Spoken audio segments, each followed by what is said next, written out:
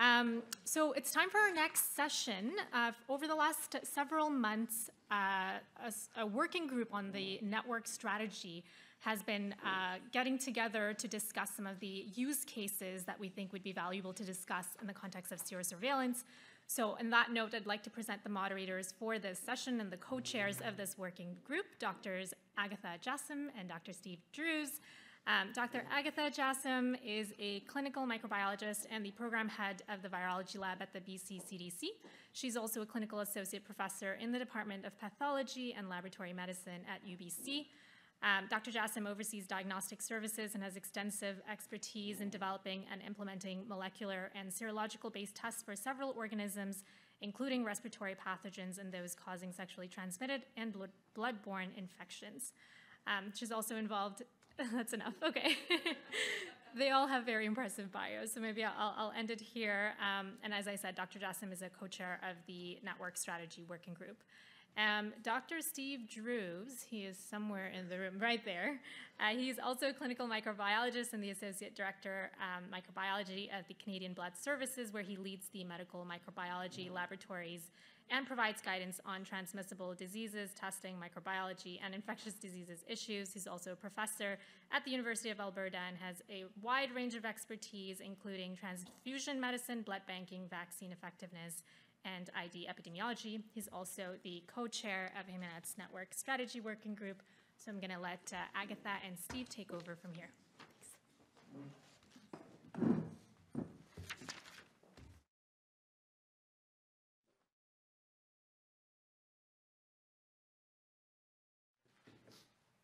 So thank you, uh, Dr. Burrell. Uh, we'd like to introduce the panelists for this session. So the first uh, speaker is Dr. Shelley Bolotin.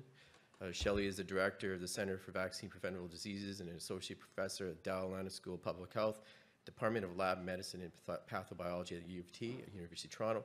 She's also a scientist at Public Health Ontario, applying uh, public health lens. Uh, Shelley's studies combine epidemiologic and microbiologic methods to answer questions related to population immunity, and vaccine effectiveness and determine our future risk for outbreaks or epidemics. At PHO, Dr. Bolotin leads a seroepidemiology program to estimate population immunity to vaccine preventable diseases. Shelley, take it away.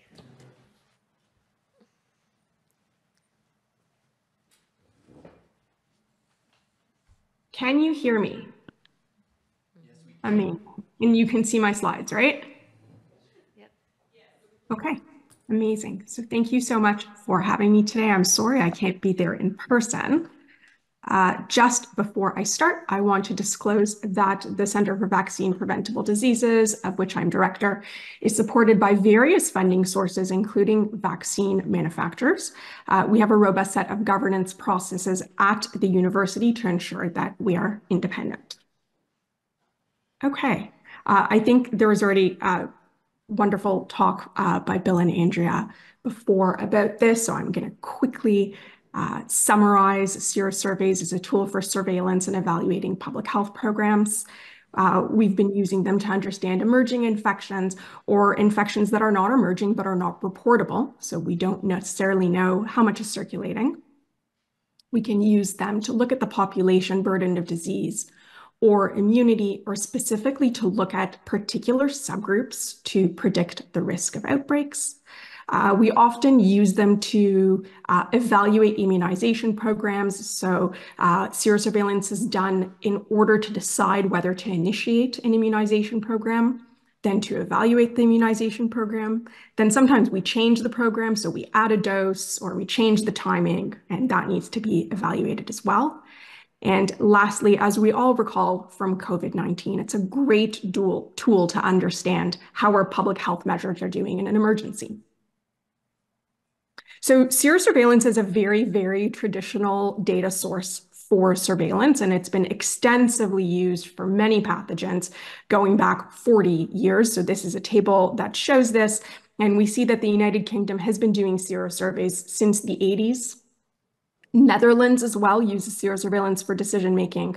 Australia and the United States, uh, both through the NHANES study and extensive leadership for uh, global health studies, as was described before, using either single bead assays or multi-bead assays.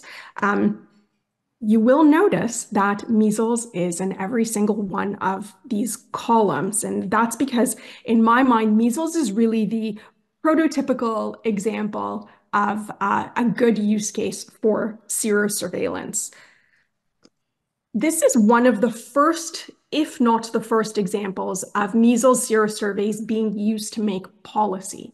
Uh, this is measles in England in 1994, during which there was a huge increase of cases, 70% increase from 1993, as you can see from the figure in the top right. Uh, the interesting thing about this outbreak is that the largest proportion of cases were in older children. And this is not what we usually see. Usually the larger proportion of cases is in young children under five. And the reason that this happened is that when these children were eligible for vaccine, when they were younger, they were eligible for one dose at the time but coverage wasn't great. So coverage was between 70 and 80% for uh, these cohorts. And while that is enough to dramatically decrease the incidence of measles, it still leaves susceptibility gaps. So you end up in every cohort having some people that are not immunized, but they also haven't been infected. And when you do that over and over for a few years, you end up accumulating susceptibles. And in 1994, really, that was the tipping point towards an outbreak. Uh, so some math modeling was done and predicted an epidemic of up to 200,000 cases uh, with 30 to 60 deaths. And again, really the concern here was the older uh, average age of infection. And, uh, you know, people who are not young children uh, are at risk, uh, greater risk than younger children for complications and even death. So the policy decision that was made was to do a mass immunization campaign for all kids 5 to 16 years. This was done in November of 1994 and they achieved 92% coverage, which is like really incredible. Don't know if we could do that now. Um, and these data with other data were also used to decide that a second dose of measles vaccine was needed to be added to the program, and that happened in 96. So when we first started uh, working on uh, doing serosurveillance in Canada through uh, the Immunity of Canadians and Risk of Epidemics Network. It was 2010, and uh, we were created to answer questions related to population immunity, specifically for vaccine preventable diseases. And you know, historically, Canada had not done any core public health work, had not used serosurveillance as a surveillance stream. So we kind of fell through the cracks because public health folks thought we were research, but research funders thought we were surveillance. And so it was very hard to get funding. Um, and so the iCare and Eric and all the other people who were doing serosurveys at the time mostly used research funding, and these are our uh, research funders, uh, to get this work done. So we would do basically one-off research proposal to fund one project, and then we would do another with no funding for a program. Uh, in later years, the Canadian Immunization Research Network, or CIRN, came along, and now iCare is very fortunate to be part of the lab network for CIRN and to be able to have a modest sum of money to do this on a regular basis. Um, when we created the infrastructure for the network. We um, made it as, you know, in various provinces and for a couple of reasons. First of all, we'd like to build lab capacity across Canada. And second of all, serosurveillance is really multidisciplinary. There isn't one person that has all the pieces of the puzzle, and it really is about working together. So as you can see in uh, light blue are places from which we have gotten specimens. For, so residual specimens from Public Health Ontario, uh, specimens from Statistics Canada, from Sick Children's Hospital for both infants and parents, and we're currently partnering with Canadian Blood Services and Héma-Québec. Uh, we do the vast majority of our testing with the National Microbiology Lab. We've been collaborating for over a decade, uh, and a lot of our testing is also done in Nova Scotia. And at the University of Toronto, we do the epi analysis and the overall coordination. So when we first started doing this work, um, we had a lot of questions about the best way to go forward. And a lot of that is because the Canadian vaccine program landscape is incredibly complex. We have 13 jurisdictions, 10 provinces, and three territories, and each of them has a heterogeneous population within themselves and between. So you can't take findings from one province or territory and, and have it be necessarily representative of another. We have NACI, which is a, uh, national immunization advisory group and it makes immunization recommendations, but the delivery of vaccines is up to the provinces and territories. And as a result, we have varying schedules for different vaccines between provinces. Uh, we have a lot of vaccine preventable diseases that are reportable to public health, but almost always they're underreported. So we have some idea of what's happening from case surveillance, but probably not complete. And we have no national immunization registry. And this is a, a really big gap because we actually don't know who in the population is immunized and who isn't.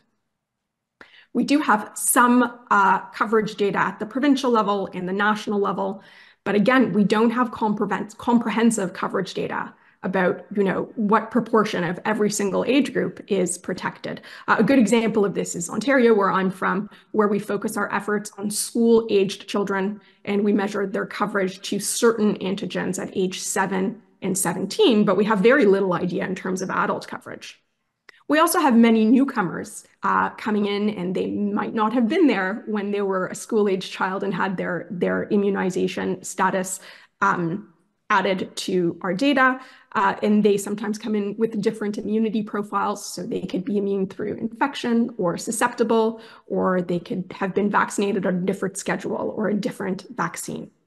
And lastly, we need to uh, take into account that even if we had perfect coverage data in our registry, uh, vaccine immunity can wane uh, for several diseases, for example, pertussis, which is whooping cough, varicella, which is chickenpox, and even measles. And so sometimes even with good coverage data, you still need to triangulate it with other data.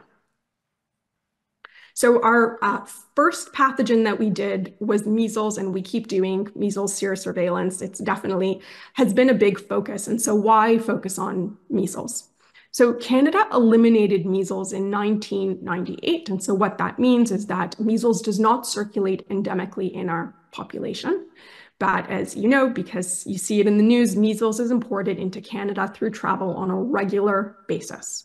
So everyone who's born since 1998, who grew up here, uh, should be protected through vaccine, not through infection, because it hasn't been circulating, and we administer two doses, and we start the first dose at 12 months. Um, we also assume that individuals who were born before 1970 would have gotten measles as children, and they're immune. Measles is one of the most infectious diseases, if not the most infectious disease, and you need 95% of the population to be immune. This is really, really hard to achieve, even in you know the best circumstances.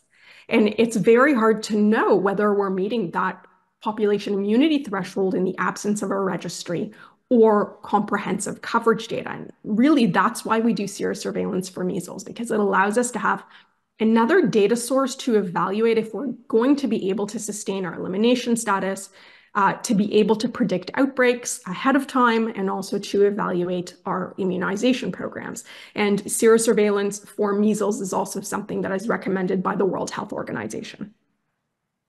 So this is uh, one of the first studies that we did looking at measles population immunity. Uh, it's from the Canadian Health Measures Survey, which is a Statistics Canada survey that happens every two years. They collect data and specimens, and then we took the specimens, uh, tested them for measles, and analyzed the results. In all, we did 11,000 specimens, but I'm just going to show Ontario data, which is 3,700 specimens. And uh, the theme for this slide and actually for the whole presentation is that even if you have adequate vaccine coverage, maintaining high population immunity is very, very challenging. So these are results from our first survey. I will say we've also done this with residual sera and the results were almost exactly the same. And we've learned a lot about using Canadian health measures versus residual specimens, and I'm happy to talk about it after. Um, on the x-axis, we have age group. And on the y-axis, we have the proportion of individuals whose specimens were beyond the threshold of protection that we determined in our lab. And I'm very happy to go into the methods during the discussion period as well. So I'm just going to orient us a bit. This is our 95% threshold. You see that we are not meeting it for any age group except the oldest age group. And in terms of can I who jump in we're looking- You got about Yeah. three minutes to wrap this part up, and then we go into questions. Okay. Um, so uh, these younger individuals are eliminated. Uh, they were born into an elimination setting, and they should be immunized with either one or two doses. And then these individuals here are either vaccinated or infected, or if they're older, then they're infected through um, previous measles disease. Uh, what we did to understand this, because we were a little bit concerned with the low levels of immunity, was we overlaid some coverage data and we saw that interestingly, kids who were recently immunized uh, seem to have, you know, very close immunity estimates and coverage estimates.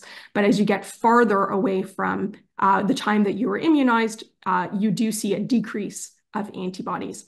And interestingly, when you add in the equivocal specimens, so the gray zones, uh, the coverage estimates and the immunity estimates actually match right up.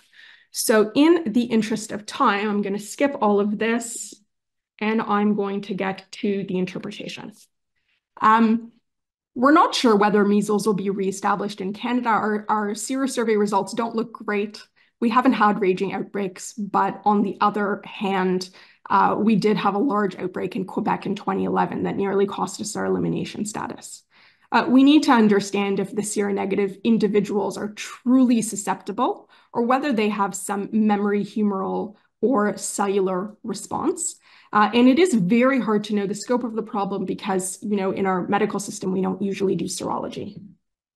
Uh, going back to what uh, Bill said in the discussion previously, it's very important to have these other data. So you need to know who are you sampling, you know, their sex, their age, where they're from, what is the local burden of infection, and who in your sample is in the least vaccine eligible, if not individual vaccine status.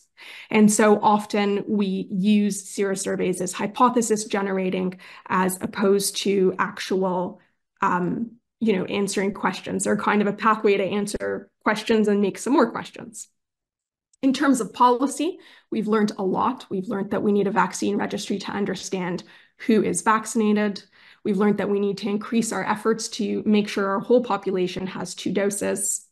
Uh, we do have some decrease in humoral immunity that has implications for age at first dose. Uh, we've also learned that some populations that we historically thought were immune actually aren't. Um, and all of these, some of this has already been implemented in policy and some of it hasn't been. So I think with that, I will wrap up. In terms of future directions, we are working with Canadian Blood Services and Héma-Québec for a national measles serosurvey, and also working to link Public Health Ontario specimens um, in order to understand who these samples are from and also looking at doing cellular immunity assays uh, in parallel to serosurveys to get a better understanding of immunity status. So with that, I'd like to thank uh, a lot of people. First and foremost, Natasha Crowcroft, who was the inaugural PI of iCare, uh, Todd Hatchette, who co-leads the CIRN uh, lab network with me, and Alberto Severini from the National Microbiology Lab. Thank you.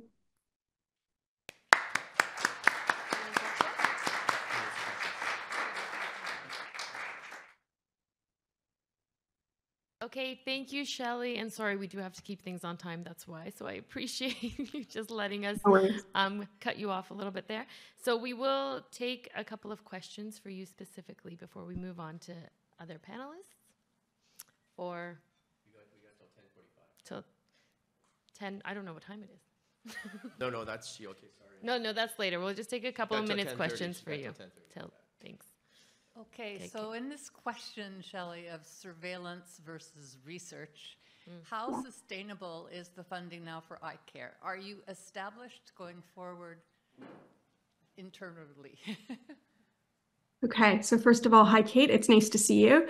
Uh, we are super fortunate to have CIRN because it really is perfect for all these activities. You can name them studies or you can name them research that fall through the cracks. So um, we are submitting our CIRN renewal on the 20th, which I believe is Tuesday for another five years.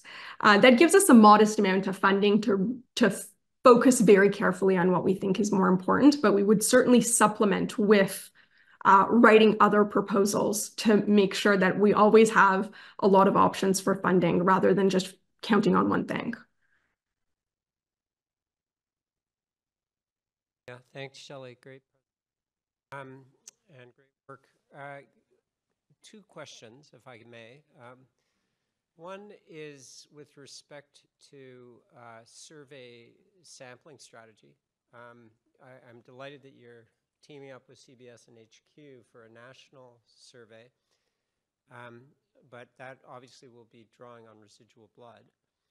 Um, is there an opportunity, and those are those are your older cohorts, uh, your older uh, um, people 16 and over, 17 and over, right? Um, how, what is the best strategy for getting to children? And I'm just wondering, uh, does the kernels network created through popcorn uh, provide you with some butter to um, access children uh, uh, versus um, you know, continually relying on either the Canadian Health Measures Survey or something else. So that's question one. Question two, you mentioned the issue of the distinction between humoral and cellular uh, immune protection, and that the humoral immunity may not be, may underestimate the degree of protection potentially. I'm just wondering, do we have studies um, that are looking at that in more depth um, and perhaps correlating le threshold levels of humoral immunity with, um, um, you know, cellular, um, which corresponds better with um, loss of protection uh, based on sort of more elegant cellular measures of immunity. Okay, thank you. Those are two wonderful questions. So um, going in order, uh, I do think that representative samples from children very, very difficult because children don't get blood taken. Statistics Canada specimens actually go down to age three. Whether or not they're representative is a different question. You will notice that those data were quite old, and that's because it took us five years to get access to these specimens, to jump through all uh, the hoops that we needed to. So certainly not timely. Uh, popcorn kernels is definitely an option. We've actually done this not through popcorn kernels, but just through SickKids, where we looked at the laboratory information system and excluded anyone who might have a medical condition that affects their antibody level. Uh, SickKids is a specialist hospital, but also is a catchment area for people just bringing their kids to the emergency room. And, and we've had quite uh, a lot of success there. And when we replicate our studies, we find similar results over and over again, uh, which is encouraging. In terms of humoral versus cellular, so yes, iCare is uh, currently looking at this because there's only so many times that we can do a humoral uh, study, a serosurvey, and see that uh, population immunity is inadequate. Uh, for measles, uh, humoral and cellular immunity actually don't correlate at all. Uh, so we can't make any assumptions. previous studies that have been done in vaccinated individuals show that about 20% of people that are vaccinated and don't have a humoral response actually have a cellular response, but cellular responses aren't standardized. So it's difficult to understand what that means. And I think that even, I'm not an immunologist, is the disclaimer, but I think that even if someone has a good cellular response, that's not necessarily going to stop them from being infected in the absence of antibodies circulating. Okay, thank you, Shelley. We're, still going to take some questions, but Varun, I just we're looking for your hand, so I'm assuming there's no online questions, but I do want to um, remind our online participants to ask questions too, that we're going to be looking out for your hands. But I know Steve. Hi, Shelley. I was just wondering if you could expand on the correlates immunity for um, immunology testing, and in particular, um, given that high throughput correlate immunity testing might not be available, what's a good proxy assay to determine uh, general population immunity? Yeah, that's a, that's a, a great question. Uh, there's a dogma that the correlative protection is 120 MIU per mil. When you dig into the data behind that, you find that uh, it's rather thin. Uh, and so, you know, we have done studies, and I see Bill there. I'm sure Bill has, I actually know Bill has as well, uh, looking at serosurveys with different cutoffs. And it makes a really, really big difference. If you cut everybody off at 120, Canada is actually doing just fine. Um, you ask a difficult question about what the correlative protection uh, or how to measure correlative protection in the absence of a cumbersome reference method like PRNT. I don't have an answer for you, but I will say that the Canadian Immunization Guide says that if you have two doses, your antibody level actually doesn't matter. So if you do serology and you're negative, but you have two doses, you're actually okay. So, I mean, we need to figure out whether that is still a valid statement to be making, but if it is, then uh, the the test is matters a little bit less. Thanks. Uh, I think we can do one more question. We've got two minutes. Hi, Shelley. Good to see you. Hi, Bill. There's, uh, as you know, there's um, a renewed glo- discussion about global measles eradication, and kind of the standard default pathway to that is to achieve 95% coverage with two doses, you know, everywhere in the world. And I don't think we'll ever get to that. And so, one of the things that's most fascinating to me about the data you presented is that Canada has achieved and sustained measles elimination despite the immunity gaps that you showed, you know, from the seroprevalence data. And I think one interesting area of work going forward is to try to understand how can countries or regions, how do they achieve and sustain elimination despite these immunity gaps? Because it suggests that this uh, impossible goal of, of getting, I'm not saying that shouldn't be our aspiration. Uh, it should be our aspiration to get 95% coverage with two doses everywhere. But I think this is a good example of how, and it, it's true with every country that's eliminated measles. They haven't done it that way. The United States has eliminated measles, but we have pockets of susceptibles. And so trying to understand kind of more about where those susceptibles are and why they aren't sustaining measles virus transmission, I think is really interesting. Thank you. I'm going to answer quickly in the interest of time. Uh, this is why we're starting to look at other things like cellular immunity, because we do need to interpret this a little bit better. Um, and I, you know, concur. We haven't had large outbreaks. Uh, in 2011, there was an outbreak in Quebec that had over 700 cases. Uh, and that was, you know, they had many importations, but one was a super spreader event. And so, you know, we see that it can happen in our setting. We also occasionally, at least in Ontario, have measles cases that pop up with no travel history. And so this tells us that it's possible that measles is circulating and we don't know. Um, all of these things together are a little bit concerning. And when you add in our current coverage estimates for school age children as a result of COVID, I am a little bit more worried than I was before. Thank you. Thank you so much, Shelley. We'll give you a round of applause. I hope you can stay on. A little bit. Uh, so we are going to move to two more speakers before the break, and I think we're going to have back-to-back talks, and then and then we'll have a sort of question period. So do you want to introduce the first speaker? And then I'll. Oh, So we have uh, uh, two co-speakers, uh, uh, Dr. Sheila O'Brien and Iris Ganser. So uh, Sheila has been the head of epidemiology and surveillance at CBS, Canadian Blood Services, for over 20 years, an adjunct prof in the School of Epidemiology and Public Health at the University of Ottawa. Her areas of interest include donor health, surveillance of infectious diseases and blood donors, stats in public health. She's published over 100 peer-reviewed papers and serves on a number of CBS Canadian international committees. Notably a member of the former chair of the Donor History Task Force of the AABB in the U.S. and the vice chair of Transfusion Transmitted Infectious Diseases, Working Party of the International Society for Blood Transfusion. Um, she's a section editor for Vox Sanguinis.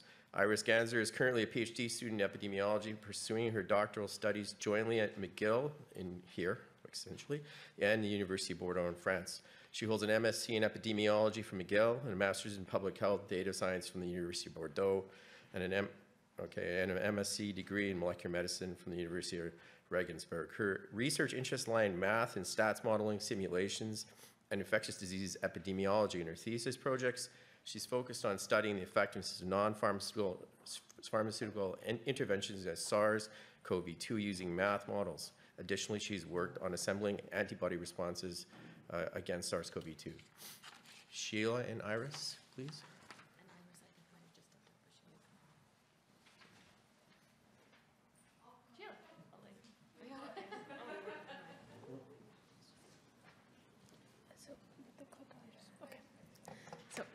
Hello, everyone. Um, so I'll talk about the um, longitudinal trends in um, immunity from repeat blood donors. And then afterwards, Sheila is going to talk a bit um, about um, the Canadian Blood Services sampling. So, um, as a little bit of background, the CITF and Canadian Blood Services have partnered early in the pandemic um, for serosurveillance. So, Canadian Blood Services samples blood from their donors, um, then tests that against SARS CoV 2 antibodies, and estimates seroprevalence in the population. And with these data and other data sources, the CITF has been able to model seroprevalence in Canada, which has been especially important um, after the Omicron era because then testing virtually stopped. And one other thing that's important for seroprevalence is also assessing um, antibody waning because um, we cannot really distinguish new infections versus reinfections.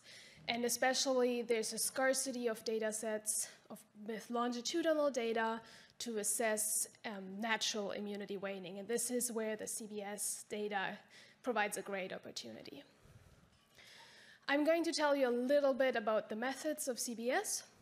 So they sample every month um, in a cross-sectional design in all provinces except Quebec. And they sample blood from um, whole blood donors who can donate every two to three months, but roughly donate, you usually donate twice per year. Um, plasma donors who can donate every week, and platelet donors that can donate every two weeks. And at the time of donation, the donors must be well um, and not have been infected with SARS-CoV-2 in uh, the previous two weeks or not have been hospitalized due to it in the previous three weeks. And also, they must not have been in contact with someone who had COVID-19. And they measured antibodies with two assays. First, from um, the start of the pandemic until the end of 2020, blood was, o- or, um, yeah, the antibodies were only measured with an Abbott assay, and it was only, they only measured antibodies against the nucleocapsid, so only natural infection. Could, no, yeah. Um, and then when, and when the vaccination started, they switched the assay to a Roche assay with higher sensitivity. Um, and they measured antibodies against the spike protein and against the nucleocapsid protein.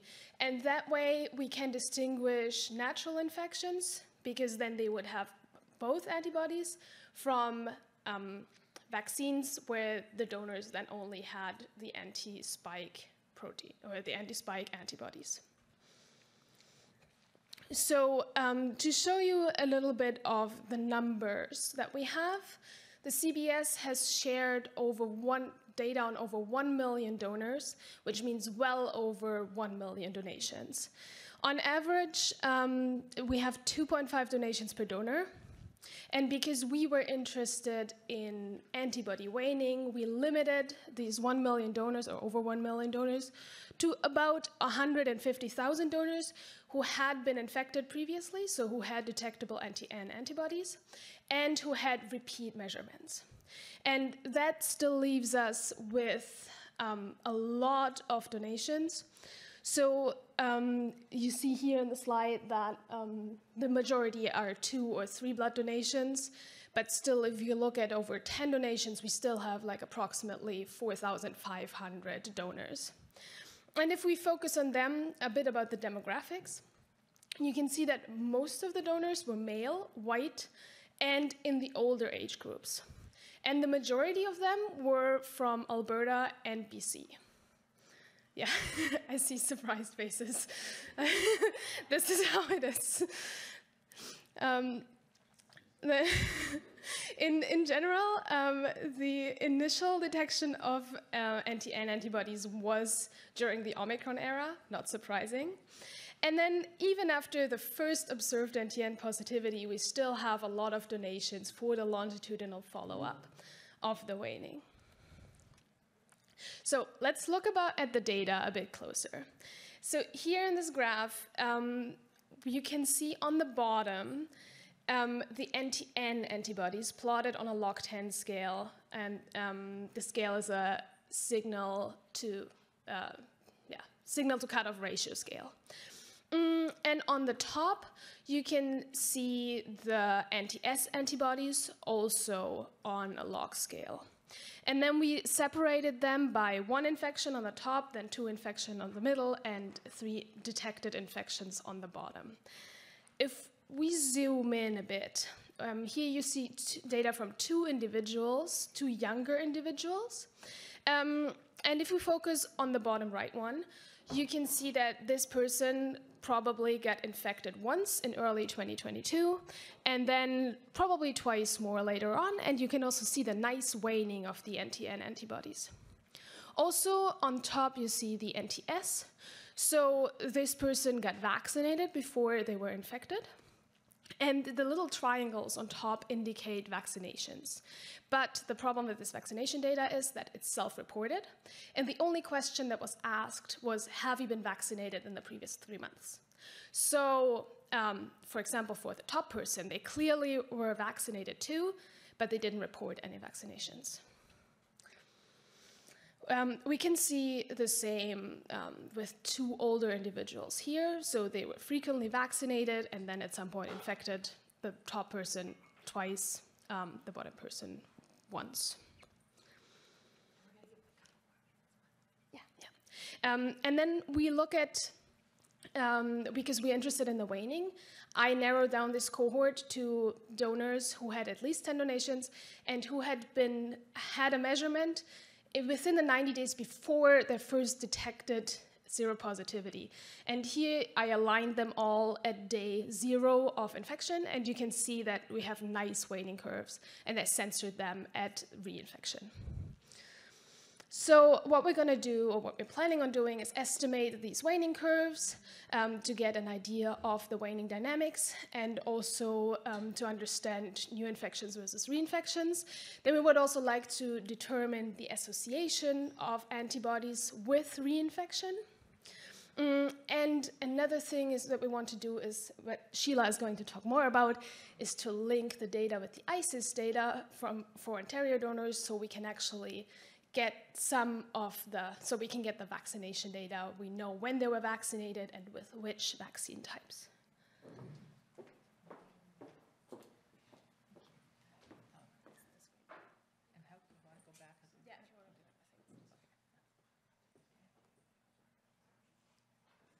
Okay, hi everyone. So, um, oh, what are you doing?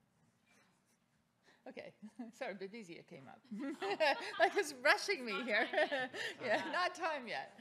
Um, yeah, so there were some, th there are a lot of limitations in our study. Um, I think um, a number of issues with the assays that we, we used, uh, we, they, we had to implement when we had to implement and we used what was there.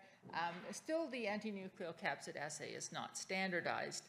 Um, the um, the, there is a risk that um, some infections may be immunosilent, so uh, we're not going to be able to measure that. Maybe if we get the PCR testing. Um, the, um, I think there, there are issues with the frequent plasma donors that we were using. Um, they, um, they are perhaps not representative of the, the GenPop um, and not even of donors. And of course, there's no uh, universally defined correlate of immunity. So let me go back now. Yeah, okay. Yeah, so at Canadian Blood Services, we are making some changes uh, that I think will, in the future, help us to do uh, things that we were more difficult during the pandemic. So for one thing, we are increasing plasma apheresis collections and expanding the number of uh, plasma donor centers in different parts of the country. Um, we're not doing that for research, we're doing that because we need more plasma, but it will have that, um, that um, extra benefit. Um, and we now encourage first-time donors to come in and donate plasma. Previously, they were uh, people from the whole blood program that were moved over um, who wanted to give more. We also will develop a way to uh, collect questionnaire data, which would have been so important over this time. Um, we, we could get information from a questionnaire on, um, on infections, on uh, their vaccination history, and we also um, could uh, get um, information on risk factors. Uh, which we had to do from uh, things uh, that, that were very general in the donors, um, um, the donors' um, um, um, residence and, you know, so the regional areas and that sort of thing. But, uh, but in the future, we will have that sort of thing.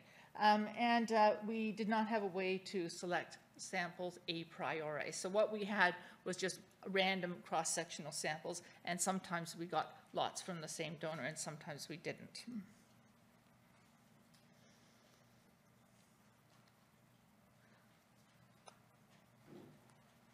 Okay, um, so as you, uh, one moves to analysis, you start to think about, you know, um, what, what else would it have been nice to have? And I think that's, there's things that, if we had HEMANET, we might be able to address some of these questions. Um, so one is, how can we standardize anti-N measurement? Another is, what is the best way of standardizing anti-S neutralization? Um, and when it comes to, uh, to more to the sampling, how could we compare frequently sampled donor data, even if we had expanded plasma collections, frequently sampled donor data with the general population? Um, and I, I think there are some solutions out there. For example, um, in lockdown, maybe we could have gotten very frequent um, blood spots from, uh, from selected people. Um, it's challenging in the lab to, do, to compare with a venous sample, but um, there, there may be opportunities out there to, for improvement.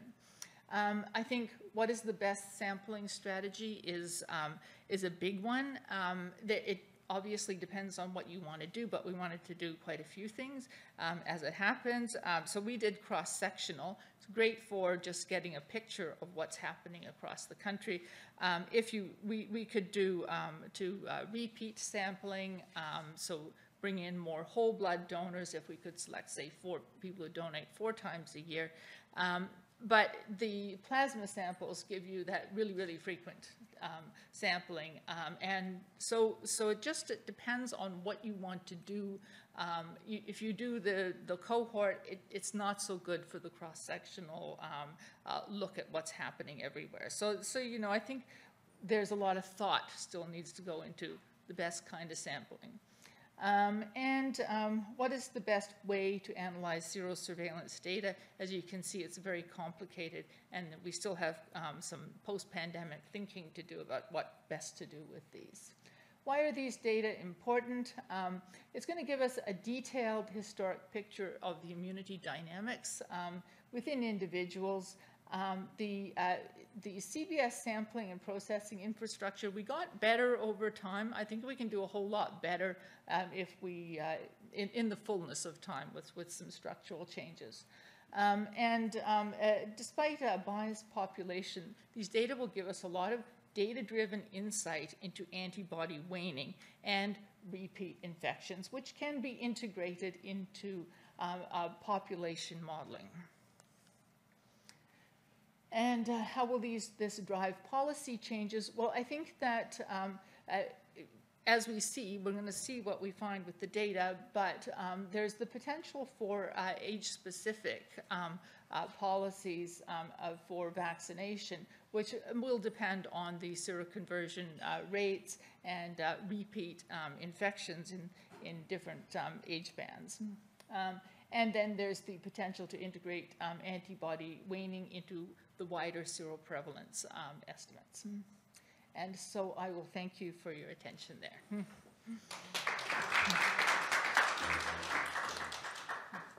So we'll take some questions for Sheila and Iris now. And since I'm moderator and I want to ask one, I'll take the first one.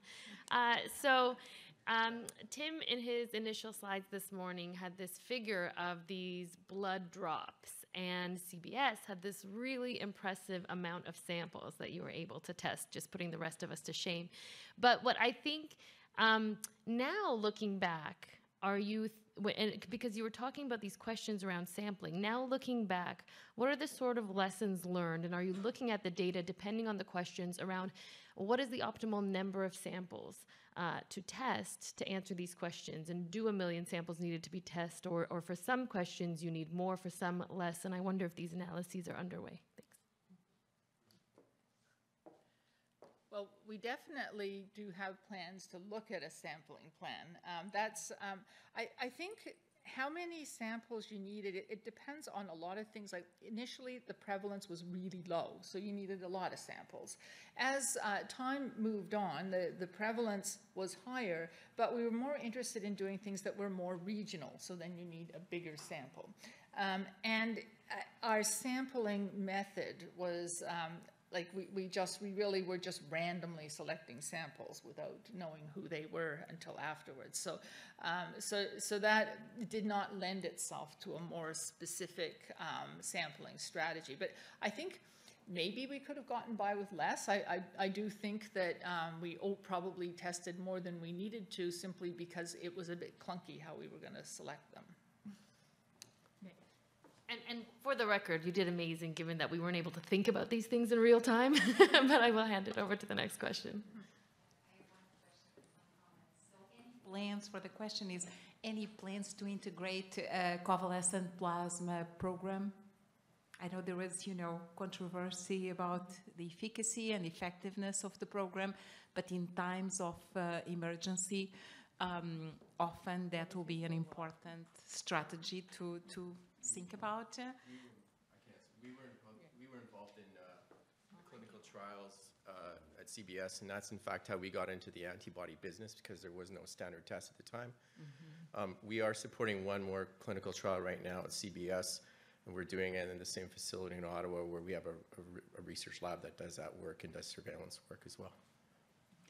Thank you. And then I, uh, the comment is that um, for standards, to build standards or validation panels according to regulatory bodies, uh, one thing that was very important at the beginning of the pandemic was finding proof of infection with PCR testing and that data available and confirmation of that in order for these samples to be included in a validation panel to evaluate suitability for emergency use approval by FDA. So that's going to be very important for us in the future, you know, just take that into account. I know it's not easy, it's difficult, but proof of that, uh, as well as proof of vaccination. If we want to create standards from vaccinated individuals, we need to know exactly when is administered, which type of vaccine, how many doses. So that information, thank you so much for, you know, including that. Coming back to the comment by the previous presenter that in measles, if you had two immunizations, you're considered protected even if there's no antibody response. And I know that Hep, B, there's also some data that there's um, protection without antibody response. And, and you have all these samples. Is there a need or can we neglect this that uh, we need to um, figure out what the protective correlate for T cell responses is and if we if we need to put this together or if we can just say antibodies is good enough. We have uh, considered T-cell, um, but it's very hard for us to collect the right kind of sample for that. Um, We are using leftover, a leftover vial of sample that they spin down and freeze uh, the plasma, and then we test it. So that, that's why we have not done it.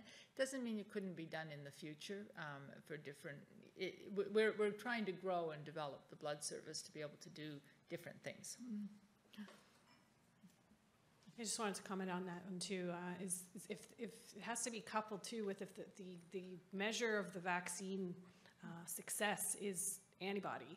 If the vaccine actual subunit is not able to induce a strong T cell response to begin with, it kind of cripples the case to try to make that CMI is important, the cell mediated immunity is important. So the input has to drive that output measure, right? So if your input is favoring antibody to begin with, which largely many vaccination strategies have been built to do, then it's, you're kind of using, you get cases where trying to make the case that CMI is, is super important too, is weakened by the input. So if, you know, vaccines are using mRNAs and, that are driving T cell responses, and these are like big questions for diseases that are really hard to overcome because we know like for HIV and Hep C, antibodies not enough. But the vaccines were originally designing just for antibodies, so you have to have approaches. Anyways, I- that's a design issue. Um, So my second, I'm, I'm clearly an immunologist, T cell bias.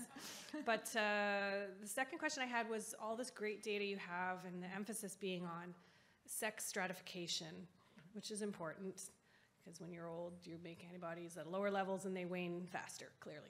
But what about the sex effects? I mean, it's. These are being reported, and uh, I think, you know, we're uh, remiss if we don't at least for the serosurveillance, speak in the language of men and women respond different immunologically, and this is information that's important to pull out of this, uh, this resource, and what are you going to do with that information? Yeah, thank you for that comment, that or question, uh, both, I guess. Um, like, this is definitely something that I will take into account when I go further into the modeling of the waning. So have, you haven't asked the question of are men and women different in your data set? Well, so I got on this project two weeks ago. So I, I have not, I have not really looked at it yet. But when I model it, I will definitely take this into account. So no one has asked? No, it's not much different. I mean, we look at the seroprevalence all the time. and- Sorry.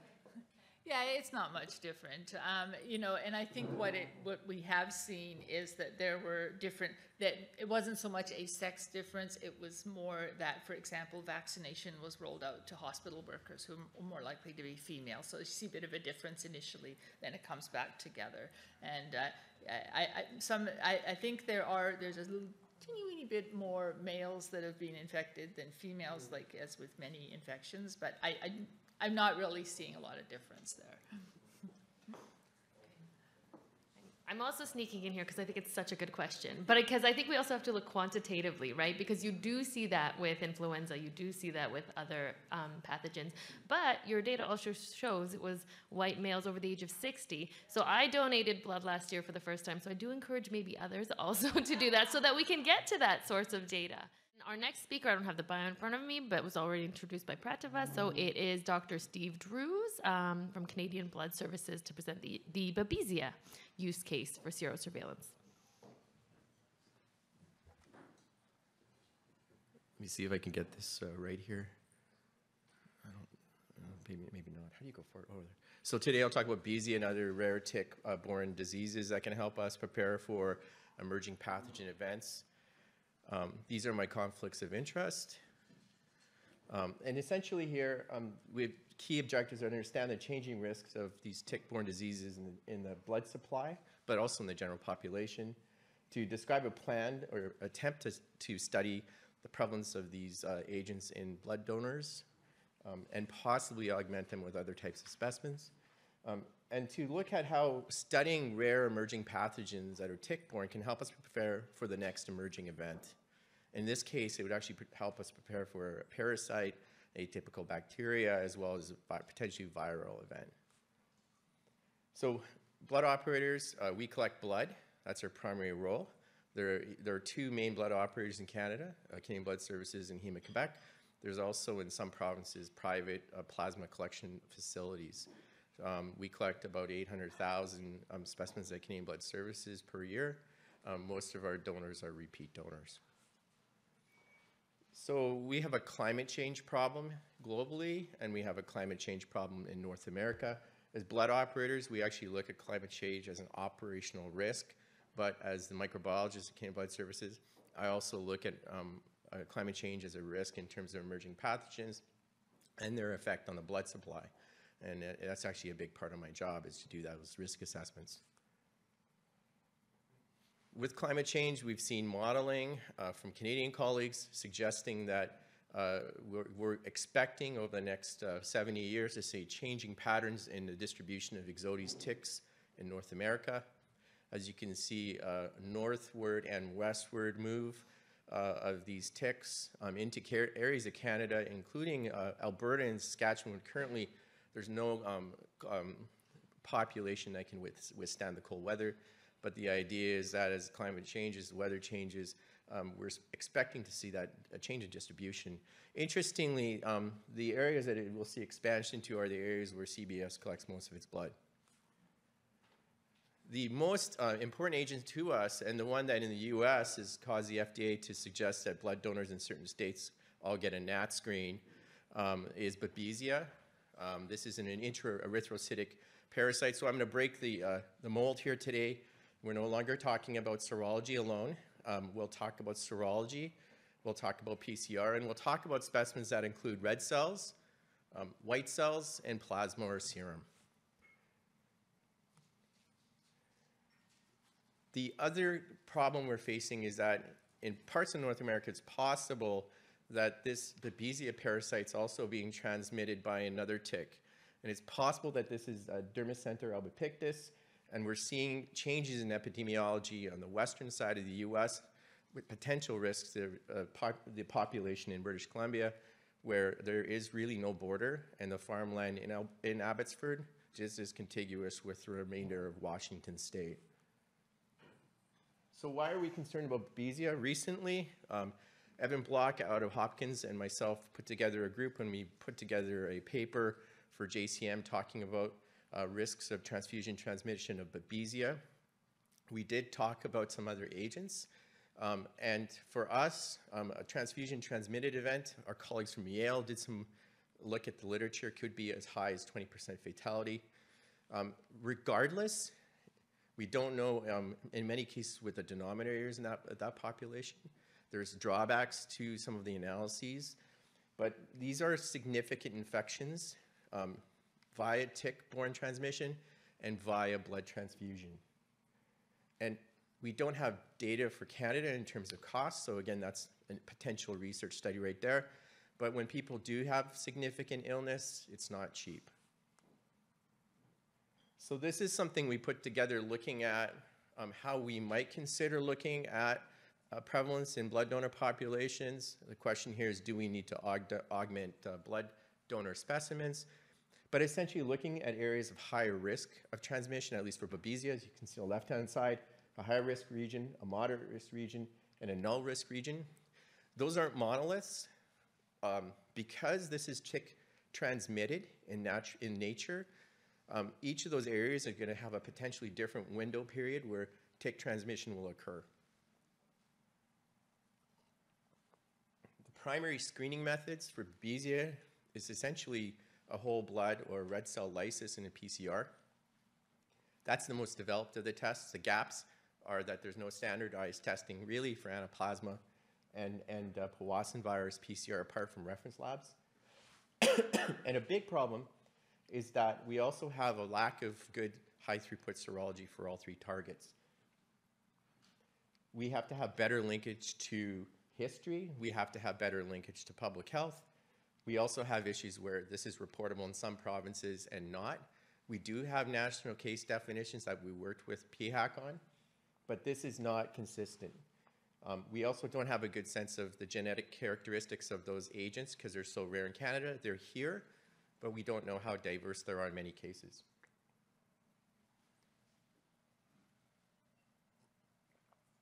I put this table together, and really the key takeaway points here are is each of these agents has a different um, time frame where it dwells in the blood.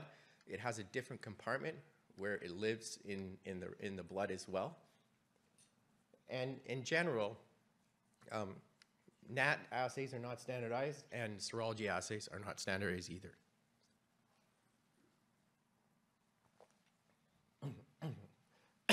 Sorry. So the idea here would be, could you potentially collect whole blood and then use a lysis tube that's commercially available to do nucleic acid testing? Um, if you find specimens, you could use that data to do epi studies and also genotyping. But potentially, you could also do um, sero serology assays on paired plasma, sorry. the, the problem here is that we don't have a standardized methodology for serology. And so we would potentially have to look at um, multiple targets to do serologic analysis. We've seen um, anaplasma activity in, in north or southeastern Ontario as well, and that's a potential risk area. In this case here, the pressures are greater because, again, um, the serology assays are not well established. We also don't have standardized PCR methodologies as well. And you can see that here in this table. The dwell time for this, this agent is, is actually shorter than what we would see for Babesia. And because of that, um, using a NAT assay in different regions, you would have to pinpoint the time where you thought that the, the questing tick was out there transmitting this agent. And so a serologic assay may help you at the start to figure out who's actually getting exposed or infected. Because if you don't pick the right time for the NAT assay to be done, you could miss that blip. We also don't know the difference between years and seasons, and that time frame for sampling may vary between years. A similar approach would go on here as well. These, these assays, the serologies or IFAs, are very, very labor intensive. You could try to pool these. You might lose some sensitivity. The idea would be to capture as many positive specimens as possible so you could cross-validate panels. This, this serology assay, if you could get a, an EIA, would be highly multiplexed as well to get the most sensitivity for convalescent plasma or serum. For Powassan, it's just as difficult. This is one of the more rare vi viruses around, although it's been identified in Ontario back in the, the 50s. This, this agent here, again, has a short viremic period, and we don't have good serology for this at all.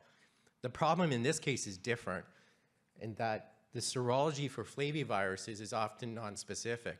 So could you go for a very general flavivirus serology assay and then get a sense from that whether you could drill down then using other methodologies like print to do a species or, or a genus or species specific um, uh, um, assay in this case.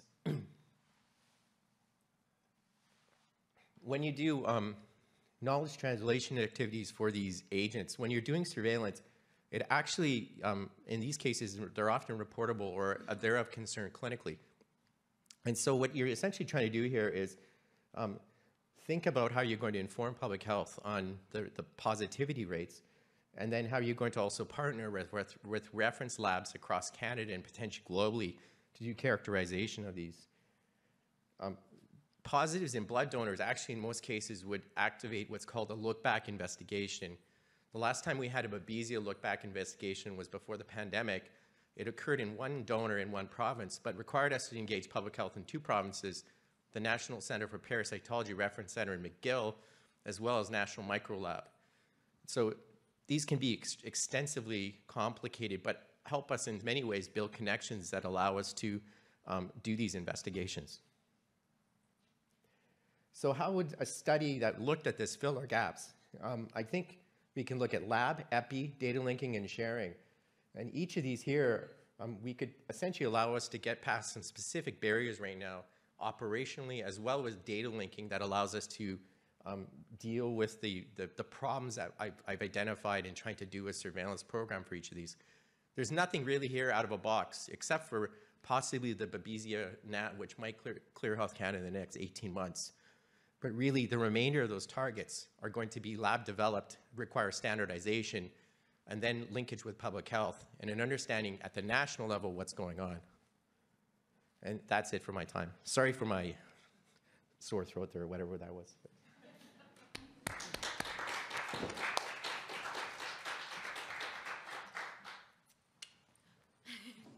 Um, we'll take questions. We might have a floating microphone, but there are online participants, so so we'll take those questions. And and while you walk up there, I'll just say I really like that you highlighted that there are no assays, for example, or no great assays. And I think you know there was from Marc Andre, and maybe in the morning an earlier question about partnering with research, or even a question came up about industry. And so this is, I think, where those partnerships probably become very important to develop those. Morshed.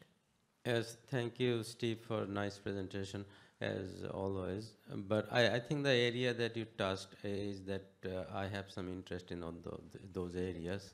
And um, um, yeah, Dr. Sekirov and Agatha Zasem and myself, we did some work using during this COVID time with the multiplexing, which Tim mentioned that uh, we now need the multiplex serology.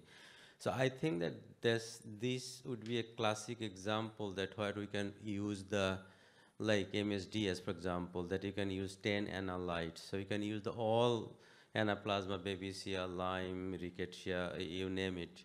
Similarly, for arbovirus, you can put the, all the arboviruses there, including chikungunya and other thing. So I, I think that we should look at, but the problem that that nobody wanted to cough up money for these low-hanging fruits. So my question to you that what are your strategy to convince people to get money for this kind of stuff? So, so I think a key strategy is that some of these are, are transfusion transmitted. So I can try to get, you know, approach that way to kind of get resources to support some of that. I think the other component is, is that really when we do this work, it's a key public health function and it's, it's supporting kind of the larger arthropod-borne study stuff that we're doing at that national sharing table level. I, I think we're going to have to go for grants and we're going to have to go for things like CFIAs. We're going to have to try to partner with industry. We partnered with industry to try to do surveillance. We, we, my, my conflict is, I mean, I do engage with Roche. They have a lysis tube, for example, that is now commercially available. It's gone through Health Canada. We can use. Um, I, you know, and there, there are partnerships I've had with them and looking at emerging uh, viral pathogens as well as emerging parasites. So I think trying to build, you know, if we could get something going here and with that, that project theme, um, that would allow for us to leverage resources across multiple areas, right? Classic granting in industry and then public health surveillance. Thanks. Can, can I add to that? Because I'm just like waking up on BC time. But I think, and, and just to say that it's, it's often a struggle though, because there are priorities in health, and sometimes the ones that we're interested in don't fall on the priority list of the calls. But zero surveillance, I think one of the priorities for research grants that we should try to focus on is Canada's priority to serve underserved populations and Indigenous populations and other who will be disproportionately impacted by emerging diseases from climate change by those. So actually, just with my grant strategy hat on, maybe I would go for those also. And I think the other uh, important population is also the immunocompromised and the Yep. elderly people with immunosuppressed. Yeah, so mortality is very high in individuals for Babesia who are immunosuppressed. So um, asplenic individuals are particularly at high, higher risk for death in this. So that's kind of the work that Peter Krauss showed with his, his review of the data. And then my other question is, um, there was huge developments in lateral flow, Mm. um, and I know those, you know, not necessarily multiplex. Some are working on that. Have you uh, contemplated potentially integrating on serosurveillance some lateral flows for some microorganisms? Because that may be a low cost also yeah, type I mean, of some, strategy. we, we, you know, we go back to the pandemic where we thought about lateral flows and maybe taking a hit in sensitivity. I think we're going to have to oversample in these populations to find these relatively rare events. So the numbers I'm showing you of 16,000, that's a four-month period, sliding across different areas. That's essentially every donation in the province of Manitoba. So I, you know, I, I, I can't visualize doing a lateral flow on those. When we did stuff with the American Red Cross uh, in 2018, I was involved with, we did uh, Babesia Nat, and then we took a subset, and Laura Tonetti at the ARC did um, pooled specimens together to do IFA and lost some sensitivity, but found stu- you know folks that were positive elsewhere and were not negative. I think we're going to have to find a high throughput serology because I do think the problems we're going to face are picking the wrong time. The time will vary, like just like West Nile, totally different agent. Probably, you know, you've got a questing tick that's sitting on a piece of grass. That's going to depend on um, whether it's cold, too cold, too hot what's going on that year. Does it get washed off with the rain? Um, that's going to vary from year to year, and seasonality will shift, and it also shift between the regions. So I, I think an oversampling approach for a relatively rare event is maybe epidemiologists will balk and look at me kind of strange, but I think when you're doing hunting like this, it's probably the best and single single unit testing for NAT, and then potentially finding a single unit test the first serology for some of these targets as well. So these, these are significant, but I think also picking a high prevalence, that we would definitely go with Manitoba and then go with Nova Scotia um, because those seem to be the highest risk areas and try to get everyone there just to see like what do we have to adjust with these types of studies. Yeah, and I think uh, one important thing with the plug and play serology technologies that we have now, that in one week we can produce a serology assay, I think a critical aspect is going to be uh, the antigen selection and the quality of that antigen. We noticed that proteins production quality can vary widely, and so having that type of infrastructure or collaboration with a protein expression group that can actually produce the proteins with the Yeah. highest quality. Like a lot of these here are, the targets they were using were cloned in E. coli. So is that the most appropriate system here? Um, I don't know, so.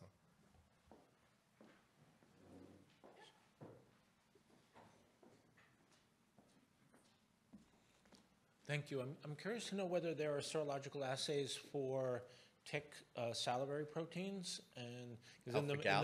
the- Huh? For alpha-gal or? There is. Well, I, um, okay. no, I haven't seen them. But okay. I, I, I, I think you're getting, are you getting on alpha, are you thinking about alpha-gal in this case, which would be a Oh, sugar? I, yeah, I'm not sure the exact protein. I just know in the malaria world, there are serological assays for anopheline salivary Yep. antigens as a marker of exposure. And so that might be one way to get a, uh, you know, a measure of exposure, of tick exposure. Yeah. um, When you're looking for these rare events of Yeah. infections. Yeah. So, you know, like, it's a good thing, it's a good point. I just, we were talking at CBS, I mean, totally different topic, but Lone Star tick in the States will, will, when it bites you, will inject a sugar into you and, and, uh, you'll build antibodies and then you can't eat red meat. Yeah. So it's alpha-gal and we don't have that here yet, but that's a, a, you're actually looking at all th- that clinical scenario to inform you on where the Lone Star tick might be. yeah. So I, I don't have the biomarker data on that, but it might be good. We had, we had a really good relationship with NML, PHAC on, and, and Robin Lindsay on where ticks would be. So the numbers that we used were what Sheila came up with for the top, and that was based on our discussions with HEMA Quebec, CBS, PHAC, and, and also PHAC's um, engagement with the tick people, and then Evan Block from, from Hopkins was involved with that as well. Yeah, Great. Yep. A comment from Laurie Beach. Sure. Oh, hi. I just I was listening to the uh, the comments around Alpha Gal and She got a little bit. Of, there. Yeah. Or you can read question out. Oh, uh, can you hear me now? sorry, I don't think we can hear, but I think Oh dear. How about now? I can hear you. You can hear me? Yeah. Cool. If you can hear me, I just got all excited because we're um, actually looking at implementing Alpha Gal assays in my center where we do allergy testing. So Fadia makes a version, which I think is exciting. Yeah, I don't know if there's a, a a correlate in Babesia, but it's a good question because I think we talk about it all the time. You know, and the, and, and America's Blood uh, Banks, I think one of the blood operators has a thing on can you do, donate blood if you if you have a gal. So these are relevant in general and also to blood operators.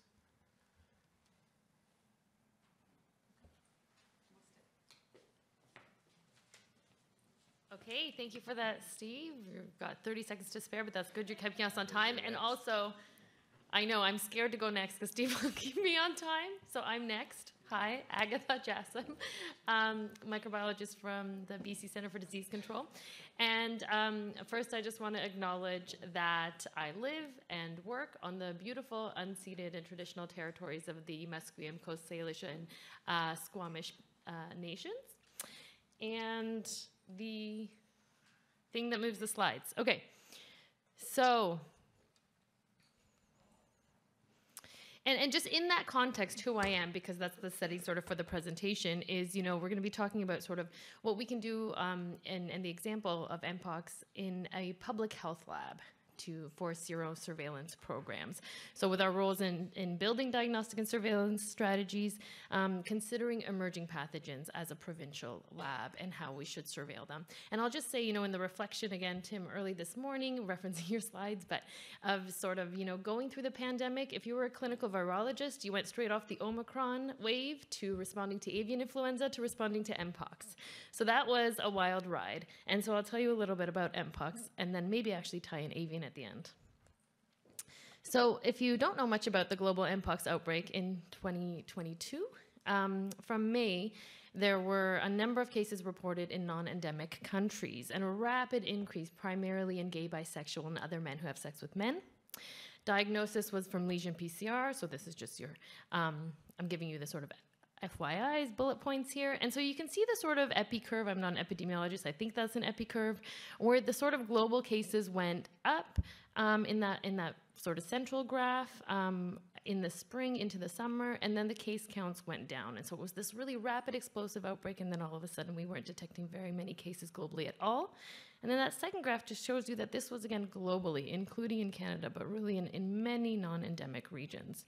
And at this time, BC and other uh, provinces in Canada and other regions in the world had uh, vaccination campaigns specifically uh, for high risk individuals of Mpox based on who, who were getting infected. And that was Imvamune, which is based on vaccinia virus, a related orthopox virus. So, just with your serology hat on high, vaccinating with a related virus, um, how is that going to work for serosurveillance and cross reactivity? Um, and of course, those persons who got smallpox vaccine, who are now about um, over the age of 50, is also a vaccine based on vaccinia virus. So also an orthopox virus also will elicit an IgG response to an orthopox virus. But because of the case counts that uh, did go down rapidly, uh, in BC specifically, the outbreak was declared over in January 9th. So why is there even a case for Mpox zero serosurveillance at this time? And by the way, my timer hasn't got on, so I'm going to just keep going. Uh, oh, now it started. Good. oh, you took off some minutes. Okay. So this is the current ongoing activity for Mpox. I'm showing the Canadian graph and BC. And again, you can see that rapid increase in the number of cases in 2022. But what I hope you see is also this tiny, tiny incremental continued increase nationally and in provinces, um, mostly the bigger provinces who experience more cases. And so I want to give you sort of a closer picture on BC because that's what I have access to um, in terms of data.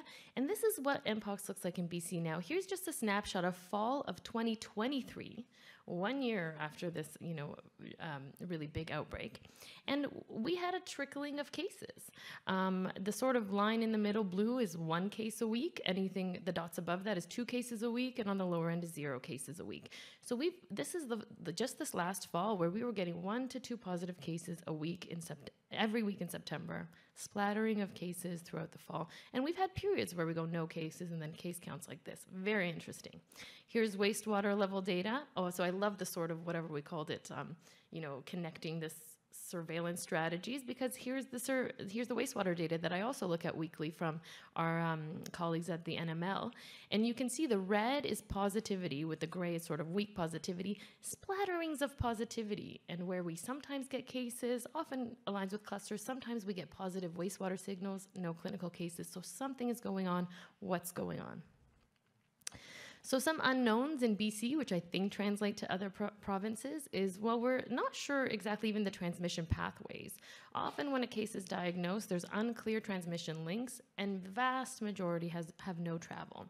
Um, so we make some assumptions based on exposure data on how it's transmitting, but again, don't have concrete data, and we don't understand the extent of asymptomatic, polysymptomatic, you know, very few symptoms, mild symptoms, undiagnosed cases. We, and we are probably missing these cases um, uh, because of the data that I just showed you. And there are, there's this one study in EID that recently came out that shows if they did add-on PCR testing in MSM specifically during that major outbreak, um, when it wasn't initially added, there was a 5% positivity rate by PCR. And when they used orthopox virus serology, so not specific to Mpox, though they tried to control for vaccination, they detected 8% IgG positivity and 1% IgM. So maybe there are some cases that are undiagnosed. So the value of serosurveillance, we were asked to sort of bring that to here. And I think I'm in the lab, so what I do is I talk to people. And here are some of my EPI counterparts, Mayank, who I work closely with at the BCCDC. And I say, you know, I'll tell you what I think, tell me what you think. And I sort of made him write something for me. And he basically said that zero serosurveys are, so this is his quote from the email, are, are very useful for population risk assessment and it can inform public health measures, including education, vaccination strategy, isolation, and quarantine in general and also specifically for Mpox. I say this because I, we don't work in silos. I don't determine that my lab efforts are going to inform public policy. I ask those people who decide is going to inform public policy. So then, uh, how do I go back? Do I? Oh. Okay. Maybe I had it later. That's okay. And so, what was the path to sort of Mpox zero surveillance in BC? Well, we had these local conversations. We established lab, um, so these conversations at BC CDC and other conversations. Uh, we established, we had established lab infrastructure and expertise because of COVID 19 funding, largely, vastly because of CITF funded grants. So I can't overemphasize that, that the reason we were able to launch Mpox zero surveillance and validation is because we had a team of people, the lab equipment, and the money to get started off the ground before other money came in because of these funds. So this would not have happened without it. Um, we were able to get some funding via CHR and MPOX grant, and um, we're working on some approvals and, and, have some approvals and are getting others. What's really lacking in our surveillance strategy in BC is pan-Canadian conversations. There's no venue apart from this meeting today, for me to talk to my other colleagues in other provinces to say, hey, we're doing this for MPOX zero surveillance. What do you think? Tell me what I'm missing in my design. Would your province be interested? Um, so I'm, the need for a network is quite obvious to me. And then here's my other sort of partnership and also my name drop of the day is that, um, again, not working in a silo in the lab, making sure I'm, I'm, I'm do, make, doing the right projects that have the impact is, you know, I'll also go and write an email to Bonnie Henry and I'll say, you know, I'm doing this validation work. But actually, the reason why I wrote to her is because how do approvals happen quickly? Well, there's two pathways that I've learned in BC. Um, to get something like access to vaccine registry data, you can write a big application, go through a process, eventually one day get approval. Or you write an email to Bonnie because you're already in public health, you're at the BC CDC, she knows this quite well, and later that day she says, yes, I approve that you can have access to that vaccine registry data. It's approval by the PHO. And so, and I, I bring this example here because again, I think it's about sharing so that others can try to do the same. Although now I hope not to get her in trouble because it's a very important relationship. Um, so what we're doing, I do want to give like just a tiny bit, a couple of slides on sort of the data and what our strategy is, is to provide estimation of Mpox infection prevalence is our aim. Uh, we think it will be higher than what we see from the case counts, and I've shown you sort of justification of that. And we're validating and planning to use an Mpox-specific IgG test because of that cross-reactivity issue with vaccinia. That other EID study was able to do that when people were just starting to get vaccinated, but now um, in the in the you know GBMSM folks who are at highest risk of Mpox still, they are largely vaccinated with one dose. Um, and I'll tell you a bit about our samples in another slide, but it includes consented participants and residual blood. So what assay are we using? Um, thinking back to the pandemic again, I was actually on maternity leave, not ideal for a virologist, um, with two young children, you know, one of them being a newborn. And I thought, how can I support the lab? And so I'm on the phone with a rep from MSD. Um, and and saying, you know, and so someone sent me an email, and they have an assay for SARS-CoV-2, and it's new and it's not commercially available. And we said, we'll try it, send us some kits. And we built this relationship with them to be a sort of, you know, beta testing site before assays are commercially available. Even talking to them about design of new assays, as Morshed said, though that's expensive, we haven't had the money for that. Um, and testing them out. And that's what happened with Mpox. This is a quantitative multiplex um, platform. And so they have antigens for vaccinia, they have antigens for Mpox. And I'm just going to show you some, a few data, and only on the Mpox. How did we do the validation? We used residual blood samples from the lab, and we were able to data link because of various approvals, including Bonnie and also Research Ethics Board, um, to vaccine registry, to symptom onset, and that was really important. So I won't go through the details, but people who tested for PCR, who were both positive and negative, and then residual blood samples collected for syphilis testing, um, that were then X amount of days post uh, PCR diagnosis up to about day 200, and then also prenatal samples that were collected and stored prior to the Mpox outbreak, so in 2021, and that was another important group of sort of negative controls. So the big question about cross-reactivity is which, which antigen is the most sensitive but also specific. So I'll just show you that we looked at all of them that were on that panel, but that red box tells us that it's E8L. That blue dot, the prenatal samples that should be negative for Mpox IgG are negative. The uninfected persons, the Mpox PCR negative persons, also on that zero line.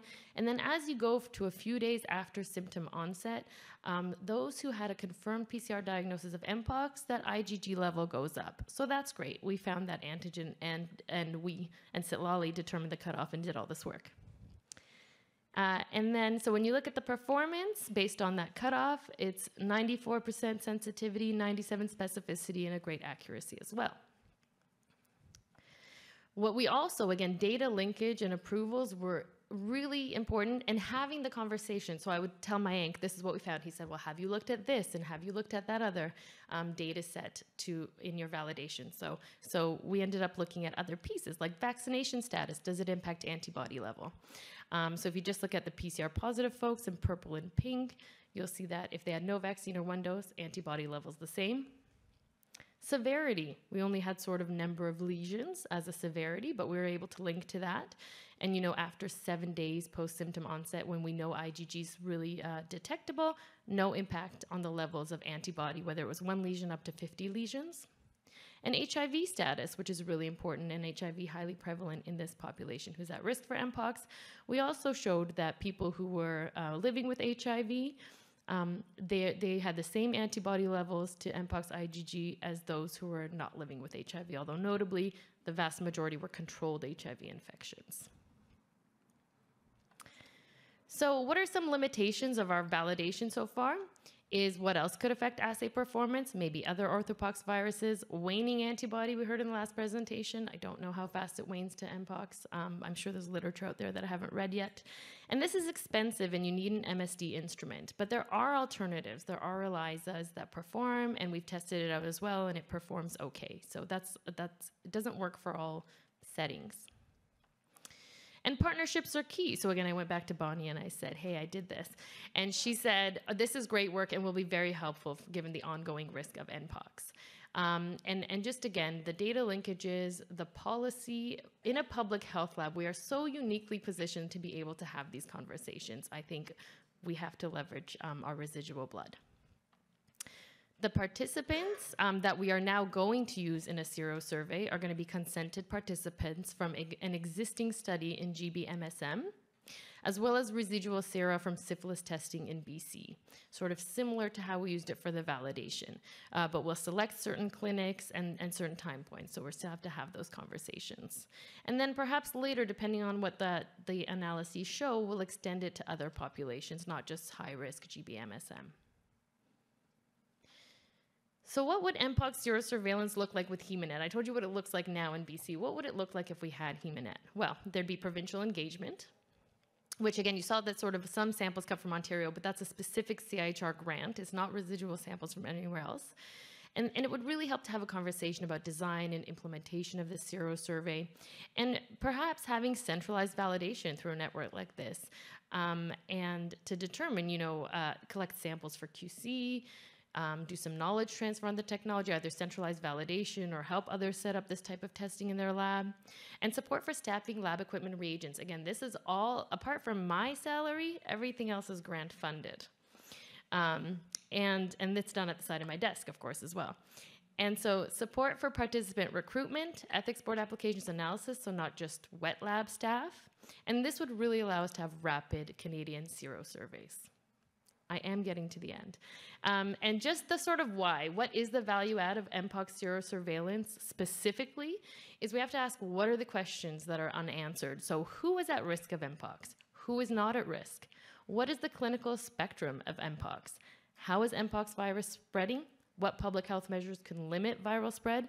Who should get vaccinated? How well does the vaccine work? And you could even look at the vaccine antigens too for another day. So I want to thank everyone in the lab, largely Dr. Sitlali Marquez, who leads all of our sero surveillance research and who's here today if you have technical questions, um, research technicians, and of course, my collaborators and friends at BCCDC. And I will end by saying this is one example of an emerging pathogen in Canada. There are others, and I think we need to be thinking about avian influenza as well. In poultry workers, other jurisdictions have seen high prevalence where it has been endemic for much longer. Thank you. Zero.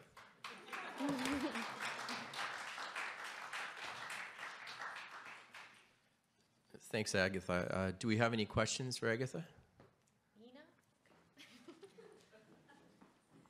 it's not so much a question, it's a comment to extend on what Agatha said about this being, you know, one of the few places where we can actually talk to other colleagues and get input from others. Um, and what I wanted to plug is uh, at CPHLN, uh, there are multiple working groups for multiple purposes, but there isn't currently a serology working group. We had one over COVID uh, times, but you know, then it kind of died off. But we are hoping to put forward a proposal to resurrect a serological working group at CPHLN. So any public health colleagues here today, please support it once it comes through. Yeah, and, and like that, we have a national molecular testing group for clinical labs and not a serology one. Anyway, so serology field vastly lacking in, in how we can talk. Tim. Yeah, if I were uh, Bonnie or somebody else who had responsibility, um, I'd be looking this and saying, is this sort of, uh, are we going to see more orthopox virus activity coming forward? And is that in some way a reflection of the fact that there's been no active orthopox vaccination since uh, whenever we stopped vaccination, I guess it was four or five years after elimination uh, or uh, eradication of smallpox uh, in 79. So my, my question is, is it reasonable to have that concern? Are there, are there people here that feel like we should be doing more on orthopox virus because we have massive cohorts in the world that have never seen a vaccination and therefore are relatively immune susceptible? And that we may be seeing much more activity on this front and MPOX is just the beginning? Or am I just being paranoid? So, um, and if I were a person that has expertise in mpox viruses that didn't just start at that outbreak, but I will tell you my thoughts. So, one is first of all, we need to look to other regions. So, after I started learning about mpox, there's this rich level of data in the, I think it's Democratic Republic of Congo, where they, again, had sort of limited zoonotic cases, she's shaking her head, yeah, of, of Mpox. And then all of a sudden, they had these rapid increases in cases and human to human transmission going back to at least like 2010. And it's not that we were ignoring it, it's that we're in public health always busy putting out our own fires, and there are too many fires. And so, but I think the data is there. And how does transmission happen? Well, you know, it's not new to us that um, for a it, a disease that's transmitted through intimate contact, often sexual contact, you're going to see it in, in, in individuals who have higher uh, amounts of sexual exposures, GBMSM. That does not mean the rest of us are immune, absolutely not. And so, um, and of course, Imvamune was targeted only at the high risk population based on the data now, which is exactly why serosurveys are so needed. So, are we at risk? Well, first of all, the GBMSM population's still at risk because most of them got one dose because why would you go out for a second dose when we told you the outbreak was over? And we know that it's not a great vaccine and we know that there's waning immunity. Secondly, everyone else who's, you know, under 50 and, and didn't get Imvamune is is completely immune to something like mpox. And absolutely we can see you know um, infections in those other populations as well. And even i'd say the smallpox vaccine i'm not sure how well it would even work. So we are at risk and i think this should be on the radar of everyone in canada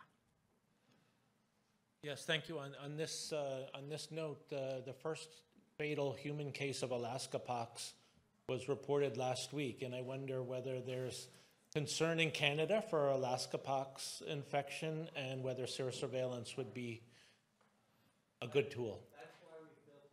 That's why we built the wall. That's what I wonder. Yeah, build the wall. That's the other solution. Some of us are in BC, so we're closer to Alaska.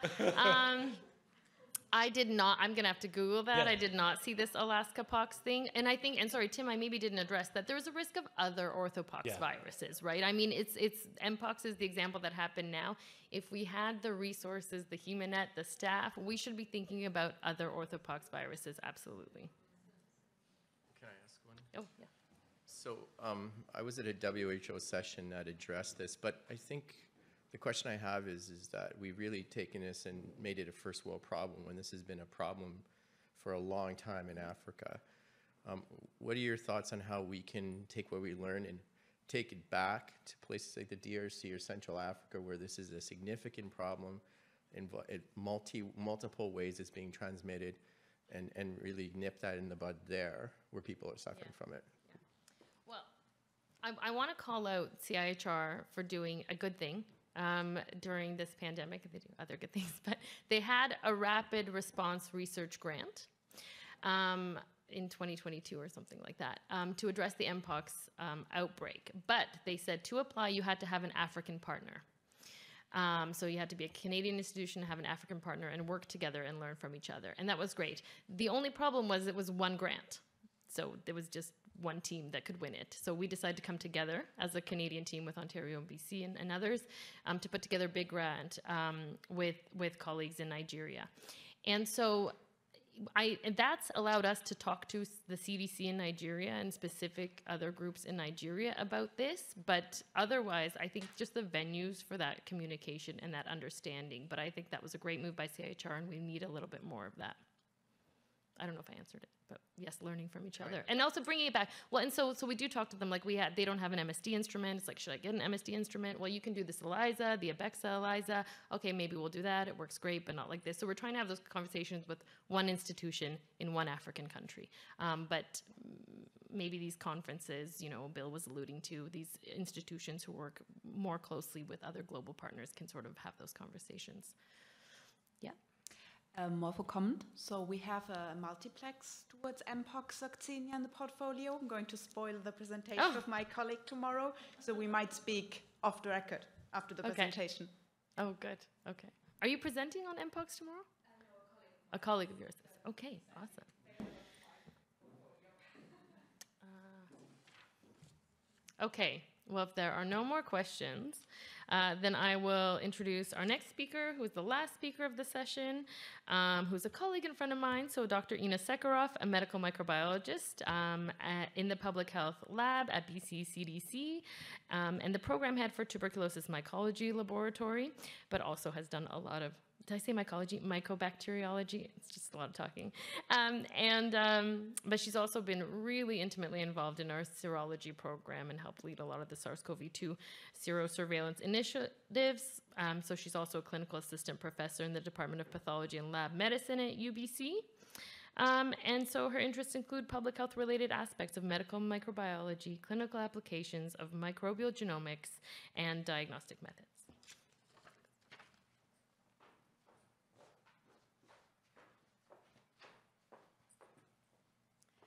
Thanks, Agatha. And uh, you're going to hear yet again about SARS-CoV-2. You know, I'm going to be the third speaker, you know, uh, talking about it today, and uh, the last person standing between you and lunch. So I do hope that actually, I'll, you know, you'll maintain your attention. Um, and um, this uh, picture here is from a cover of a WHO checklist for respiratory pathogen pandemic preparedness planning, which I thought was, uh, you know, very well put together document, but um, you know, I, I did want to, you know, highlight a bit of a funny moment, I guess, you know, of uh, how when you have a hammer, everything looks like a nail. You know, like I was reading it from the point of serosurveillance in mind, and when I was looking at the picture uh, on the bottom, I assumed it was an antibody.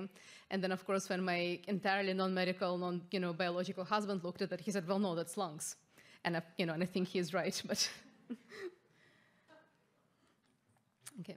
Uh, so before going further, uh, I do want to acknowledge that I'm grateful to be here on the ancestral territories of the Kaniyan uh, Kehaka Nation, um, and uh, it's a beautiful land. So uh, why respiratory serosurveillance? You know, again, we did talk about it for quite a while already, but, you know, uh, when you look at the most recent, uh, and most recent, I mean, like the last 100 years or so, outbreaks that have plagued humanity, nine out of 13 of them did come from respiratory pathogens. And from the same checklist by WHO, they do talk about uh, needing to have access to sensitive and specific serological diagnostic assays in place in order to be able to respond to uh, emerging respiratory viruses. And of course, you know, having uh, something in place is much easier if you maintain access to it. And we have built uh, capacity, you know, in Canada, in North America, worldwide for, you know, serological um, testing over the course of the pandemic. And I think it's important to try and keep it uh, afloat.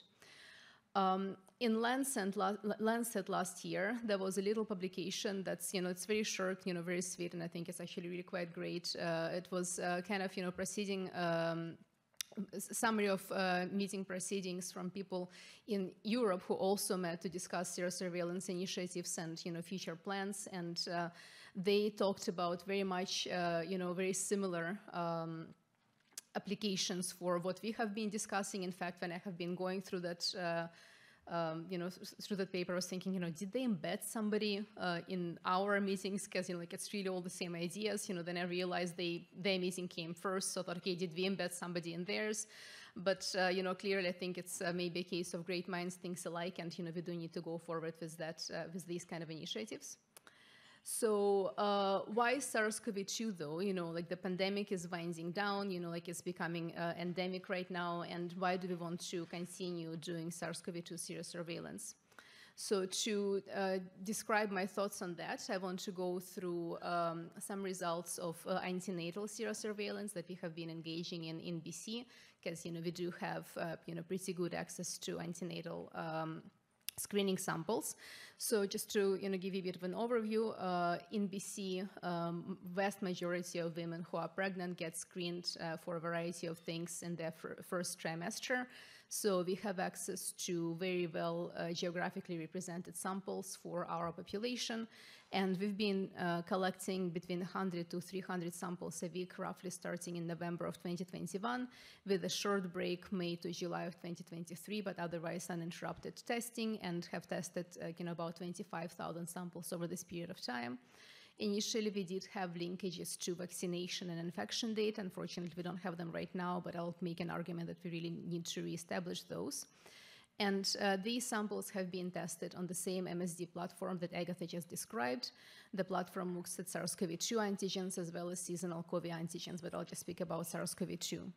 And all of the graphs that I'll be presenting have been put together by Dr. Svetlana Marcus that I'm very grateful for, you know, her uh, doing that and all the work that she does on this study. So um, this is the results of our antenatal serosurveillance for SARS-CoV-2 for BC specifically. In yellow, you have people who have no evidence of uh, antibodies to either of the um, SARS-CoV-2 targets.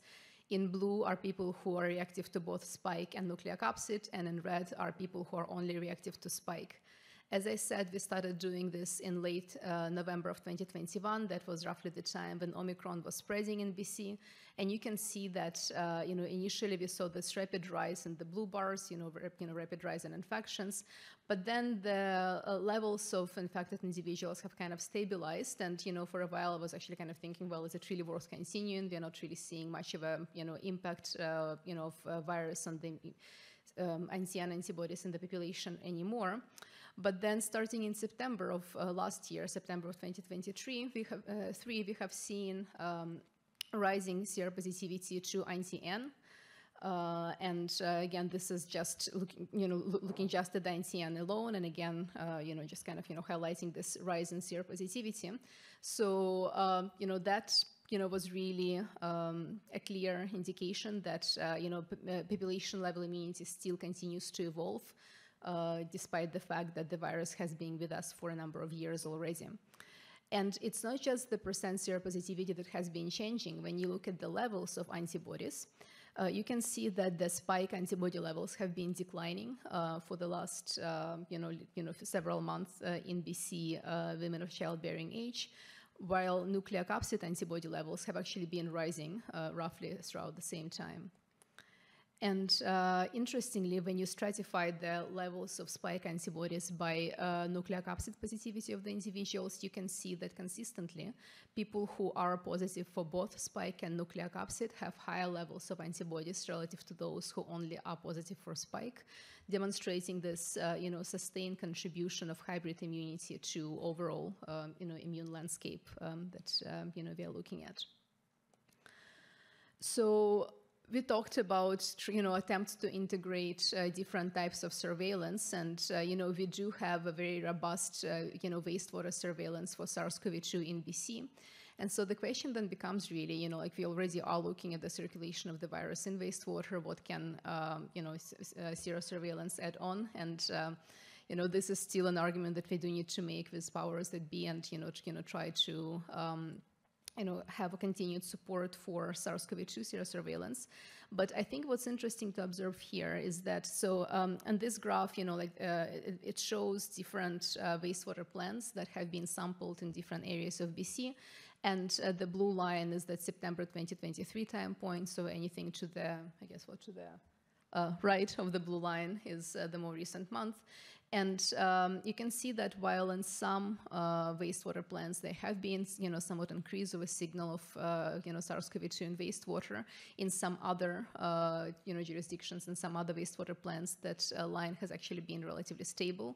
And uh, the interpretation that has been provided for, you know, uh, for quite a while, for, you know, like a large number of these graphs, is that SARS-CoV-2 levels are relatively stable at most sites.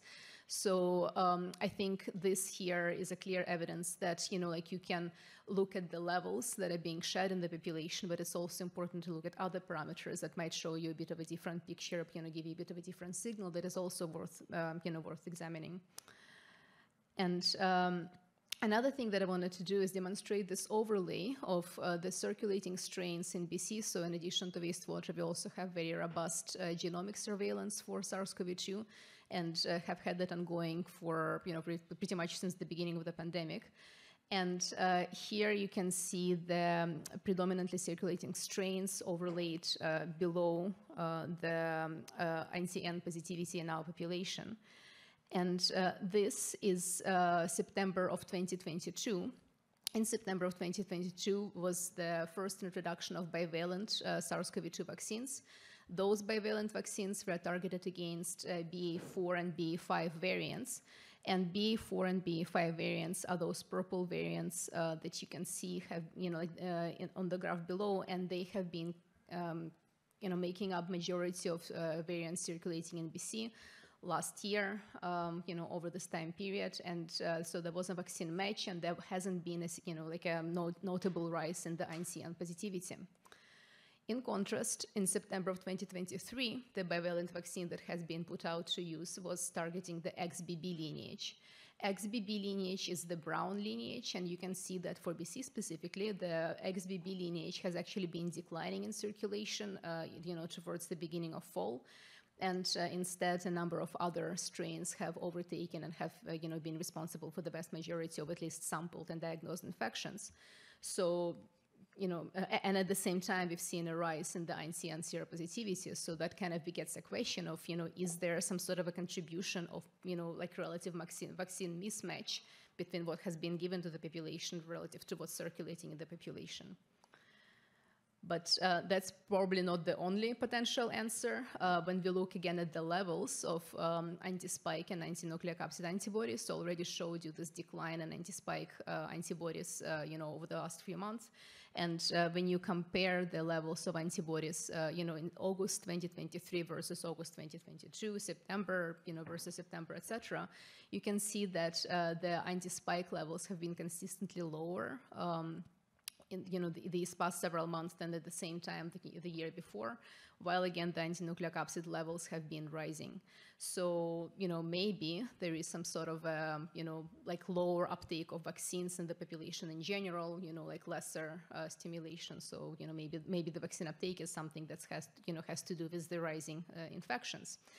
But really, to be able to answer that, we do need to have ongoing linkage to our vaccination registry. And I'm hoping, like I said, that we'll be able to reestablish that and actually be able to discern some of these questions a bit further. Um, another thing that we try to do uh, with our antenatal serosurveillance is trying to see whether different uh, antibody isotypes, uh, you know, can give us a bit of a different picture and a more refined picture of circulation of the virus. So we were hoping to use IgA, for example, as an antibody that decays faster than IgG to try and see more of a fluctuation of uh, circulation of the virus. That unfortunately didn't actually work out, you know, work out as we planned, and uh, contrary to our expectations, we did not see more significant, you know, like and flow with IgA as we were hoping to see. But again, it was important to know and uh, important to understand, you know, sort of the relative, um, you know, the, the relative capacity of different antibodies to monitor immunity and virus circulation. So why ongoing SARS-CoV-2 serosurveillance? Um, like I said, I think it's really important to continue monitoring this virus and, you know, like gaining knowledge that, you know, will inform us on this virus as well as potentially actually give us a chance to um, better understand uh, the um, immunity and the circulation of viruses which are already endemic. And uh, for this virus, you know, there still needs to be, you know, ongoing uh, optimization of vaccine policy, ongoing optimization of public health policy, and I think serosurveillance of SARS-CoV-2 has the potential to inform on these. But with respect to other respiratory pathogens, that is actually quite a bit more complicated, at least in our initial assessments, than uh, it is for SARS-CoV-2. So SARS-CoV-2 came into this entirely susceptible population. It was, uh, you know, like relatively easy to get positive and negative uh, controls, to, you know, define, define cutoffs, uh, to, uh, you know, have, um, you know, sort of, you know, like have better insights into what a virus does to a naive population. In contrast with, um, you know, endemic viruses, you know, they've been with us for a really long time. And uh, actually early on in the SARS-CoV-2 pandemic, we tried to look at the circula uh, circulating antibodies to endemic uh, coronaviruses in uh, residual sera collected from uh, outpatients in our, you know, like main outpatient lab. And what we saw is that, uh, you know, starting from very young age, you know, so like about the age of five, majority of people who have been surveyed had detectable circulating antibodies. So again, obviously, this is going to complicate our ability to uh, make interpretations uh, from these studies, but I think it doesn't mean that we shouldn't do them. I just think that we need to be aware of the caveats. Uh, oops. Oh, okay. So I guess this is a slightly older version of my presentation. Um, but you know, I, I, had another slide from another uh, study that looked at uh, dried blood spot testing uh, in a, a, household setting. And uh, in you know, for, for, that study, we actually try, tried to also look at um, RSV and influenza antibody levels to see whether or not you know we, we will be able to uh, see higher levels of RSV or influenza, you know, like in people who test positive for RSV, influenza, etc. And that has also proved to be a bit difficult. And you know, just wanted to show that it also required a bit more uh, optimization.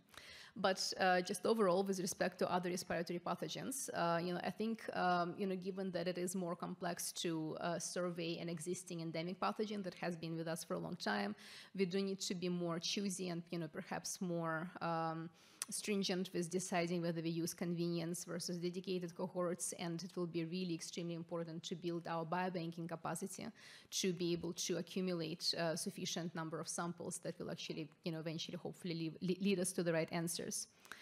And uh, you know the answers that I'm hoping we should be able to get from respiratory pathogen surveillance overall is uh, you know what can we learn about endemic versus emerging viruses. And you know, Agatha mentioned uh, inf uh, avian influenza. You know I think it's going to be interesting to see how that uh, you know spreads in our population given that we already have influenza in the population, you know, like the other strains, endemic strains, and uh, also flu already has a vaccine and has had a vaccine for a long time, but you know RSV vaccines are coming on the market, so you know how how are they going to play out uh, relative to the already pre-existing level of immunity in the population to some extent. So that's all I wanted to talk about. Uh, this work has been supported by really a huge number of people that, you know, like I'm very grateful for, you know, their time and dedication and, uh, you know, the BCCDC PHL Surveillance Research Group, Deborah Money and her team, who is the lead uh, for the antenatal serosurveillance uh, in Canada, uh, the BCCDC PHL team, and the Canadian Immunity Task Force, who funded also a lot of, well, all of the, most of these studies.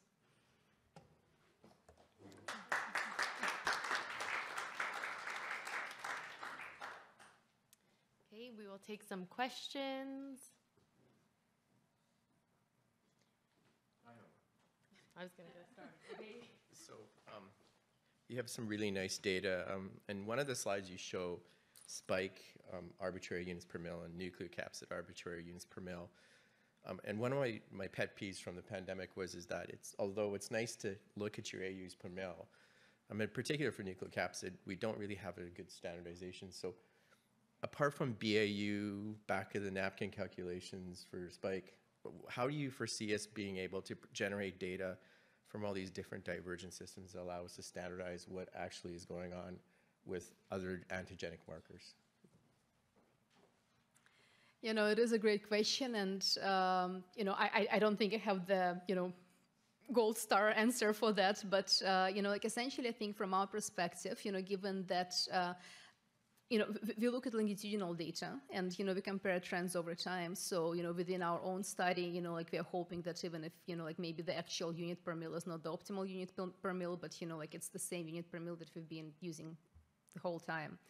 But uh, I think it is, you know, quite key, as we've talked about already, to be able to standardize data outputs from different assays from different jurisdictions. There is a WHO standard for SARS-CoV-2, and I'm hoping that, you know, like that can actually help with some of the standardization efforts. And, uh, you know, like maybe in the future there is going to be newer standards coming out, you know, for, you know, like newly emerging, you know, strains, etc. Uh, but um, yeah, you know, like using standards, you know, trying to cross-validate assays, you know, across jurisdictions, I think is really quite essential.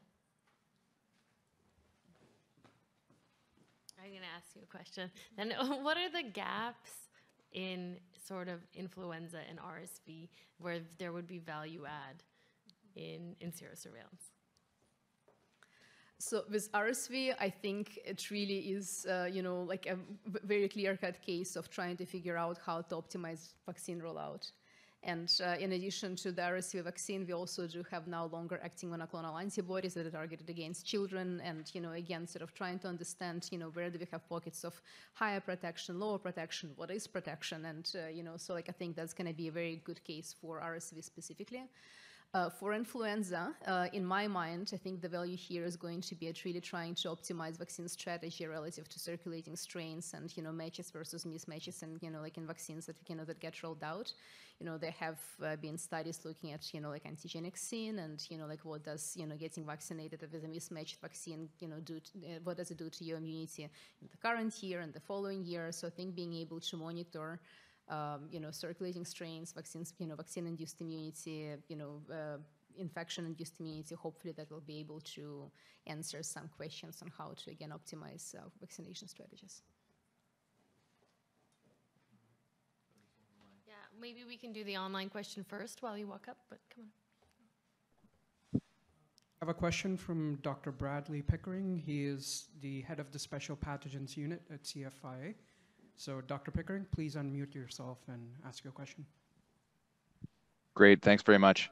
Uh, wonderful talk. It was uh, it, it, was really informative, and I guess I have more. It's more of a comment than a question. I think a lot of times in, in the work that we're doing, we're we're looking at you know all this genomics data, and everybody's looking at new sequence and things. And I think your presentation really highlighted how much data that you can get from uh, you know, doing serial serosurveys and understanding even even how you talk about spike and and nucleocapsid and thinking about the trends that's going on, what could be happening with you know vaccines, and and when we're, when we're thinking about disease, right, you can you can actually see all these trends, and it gives you a a broader uh, view of everything. We're often we're, we're you know with with uh, molecular testing, we're looking at specific, uh, I guess, snapshots of acute infections and things like that. So, uh, no, I, I, just really appreciated, uh, you know, all of the data and, and everything you brought with it, and, sort of the importance of of uh, you know the studies that you're doing. So, I just wanted to say thank you for that, and it was uh, very interesting. Thanks. Thank you. I have two questions. One is, is the data publicly available? So can investigators, of course, with the right agreements, um, look at the data or pull it or yeah. We haven't published it yet. Okay. Uh, it is part of CITF funded studies, so I think eventually it is going to be going into the CITF, uh, you know, like overall data. Um, you know, this is really very much fresh off the press. You know, Svetlana was so kind. You know, she, you know, she pulled all of these graphs together for me on Friday. Um, but uh, yeah, eventually it will be. Yeah. Yeah, beautiful. And then my other um, question is more, you know, kind of thinking in the future. Uh, there are a number of mucosal vaccines uh, now under evaluation. And so I'm wondering how do you see um, if we want to use uh, serosurveillance for understanding immunity levels? Um, are you considering uh, collections of, you know, saliva, some other mucosal sampling at this moment? Um, what are your kind of thinking in that area moving forward in the upcoming years? So we haven't been doing uh, mucosal sampling a whole lot. We tried at some point in time to see whether or not we can get antibody levels from gargles, because you know we did use gargles quite a bit in BC for diagnosis, but that proved to be you know like a bit more. Uh, it was it was fine. I mean we, we didn't go there. I think maybe we, we couldn't get enough samples or something like that. I can't remember, but for some reason we decided to abandon that uh, approach. Using the sample. Do you want to come and address that? And I know that the whole mucosal world needs huge uh, amount of standardization, but just thinking forward. Yeah, we, we did do a little bit of uh, mucosal um, gargle samples. we did validate it, but uh, at the end it was very complicated to get the residual samples, so we did not move uh, forward with it. But the, the assay is actually validated. Yeah. and- Well, and maybe I'll stress other things, is without a, a properly funded program, um, that's new, we just, we also had to drop it, right? Like, we can't follow all, we have to decide what's a priority to follow, so just, yeah. But I think I did see that Jen Gormerman was uh, maybe participating online. Sorry, and uh, I know that her research team is doing quite a bit of work with salivary antibodies. Uh, so I think you know she may be a good contact for you to reach out to. Thank you. Do you have any more? I have one, I have one question then. So I'm a taxonomy geek, and so SARS-CoV-1 and 2 are actually subspecies within the same species. And so we had like about 15 years for us to play around with SARS-CoV-1 before s- this pandemic happened. How do you foresee us being able to pivot quicker if something emerges that we're not really aware of? S- something like similar but new subvariant, you mean, or something like entirely? No, not a- we're not talking a coronavirus, we're talking another respiratory virus. Okay. How do we get our systems together to be able to generate the tools without the benefit of a 15-year lead where we could Mhm. study a very close relative of SARS-CoV? I mean, if it was something that was entirely different that we haven't seen any sort of relative before, you know, honestly, I don't know. If it's, you know, like I think it's going to have to be a aggregation, effort to like figure out what it is, what antibody, like, sorry, what proteins it has, etc. Uh, if it's something that uh, is at least somewhat related to something that has been in existence, you know, like I'm kind of hoping that, you know, given that there is a bit of, uh, you know, like laxed specificity uh, in our immune responses, perhaps, you know, being able to, you know, cast a wide net and, you know, Agatha actually has a, uh, an assay, VirScan, VirScan assay that looks at, you know, sort of, you know, pan-viral responses, perhaps, you know, being able to use those kind of approaches and trying to discern signals that, you know, rise up in a group of viruses, you know, we'll be able to focus our efforts for the future. But again, to be able to do that and to be able to do that quickly, we do need to maintain capacity. And I think it's really crucial for us to be able to maintain the capacity that has been accumulated over the pandemic. Um, okay, and, and I'll just say, you know, it's also, it, and it's this, so the, the pan-viral, virological assays also have uh, antigens from viruses that infect animals, right? So yes, we don't know what's out there and, and things, but if, you know, if it's going to be a zoonotic pathogen, it's the importance of understanding what viruses exist there and the antigens so that we can get a little bit of a leadway. Now, there is lunch soon, but um, we are, I'm going to just, uh, we are early, so I'm just going to take a minute. Um, you know, we were asked as moderators also to maybe pose a question to all of the panelists and all of the audience because we are here sort of discussing HEMANET and this network. And this session was about specific use case scenarios in Canada for this Canadian Sero Surveillance Network. And we mentioned a couple. Uh, respiratory viruses, orthopox viruses, tick-borne um, viruses. They were kind of, well, not just viruses, there were other things in there. There was a parasite there, sorry, virologist. Okay, and so I, I pose it to you. Um, are there first other communicable diseases we should be thinking about that are important? We also heard about the vaccine presentables, but what did we miss for communicable diseases? I'm taking notes. Pathogen X, so Steve alluded to that a little bit, but but you're right, we probably have to think about that a little more. Any other groups? Yeah, you know, the STIs is it's it's interesting because when we've had these HEMANET discussions, we haven't actually maybe built in a sort of STI. And um, and I really liked what you said, Andrea, I think, right, is about the HIV. Well, HIV serosurveillance, I wouldn't necessarily do it de-identified, but you could actually potentially, I'm going to talk about HIV and then I'll hand it over to you for you know what. Um, but for HIV specifically, I think you don't want to do that de-identified, but um, I know in our population in BC, we don't know a lot about, you know, HIV rates in underserved populations. I look at Saskatchewan, who I think knows a bit more, and I'm going to bother Amanda later to figure out how they figured out what's going on in Saskatchewan. Um, so that's something. And then, you know, when we look at our priorities in BC specifically, but I'm sure elsewhere it's the same, syphilis is another one. So is that what you're thinking about too, Morshed, is sort of syphilis serosurveillance? And what would that look like? Would that be de-identified? Uh, syphilis is now is a BC problem. I think is a national as well as a global issue, and uh, more scary things that it was in MSM population in a specified now is becoming going towards the heterosexual population. We are seeing lots of congenital cases. I think that de-identified would be better so that you are not labeling anybody, and then also another challenge to get from the all sorts of community, not only particular community. So that will be another another challenge.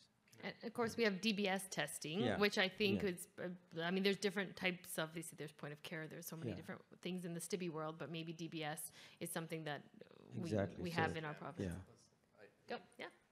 This is a brainstorming activity. I hate syphilis testing um, because, I mean, RPRs, you can't do them at a high throughput, and you're really looking at waning there. Um, and then most people don't get treated early enough to lose their antigen or antibody response to syphilis. So then it's like, how do I know you were recently exposed or not? Because I don't want to look at the RPR. And so do you need a detuned assay that wanes faster than the current assays? That's my gut feel. Yeah, I think that uh, to Steve, to like um, argue with you, now the RPR is coming as an automation, and Ontario is not- doing the it's not automation. Uh, uh, it's, going there. Uh, I think that uh, uh, if there is money, everything can be possible. Yeah.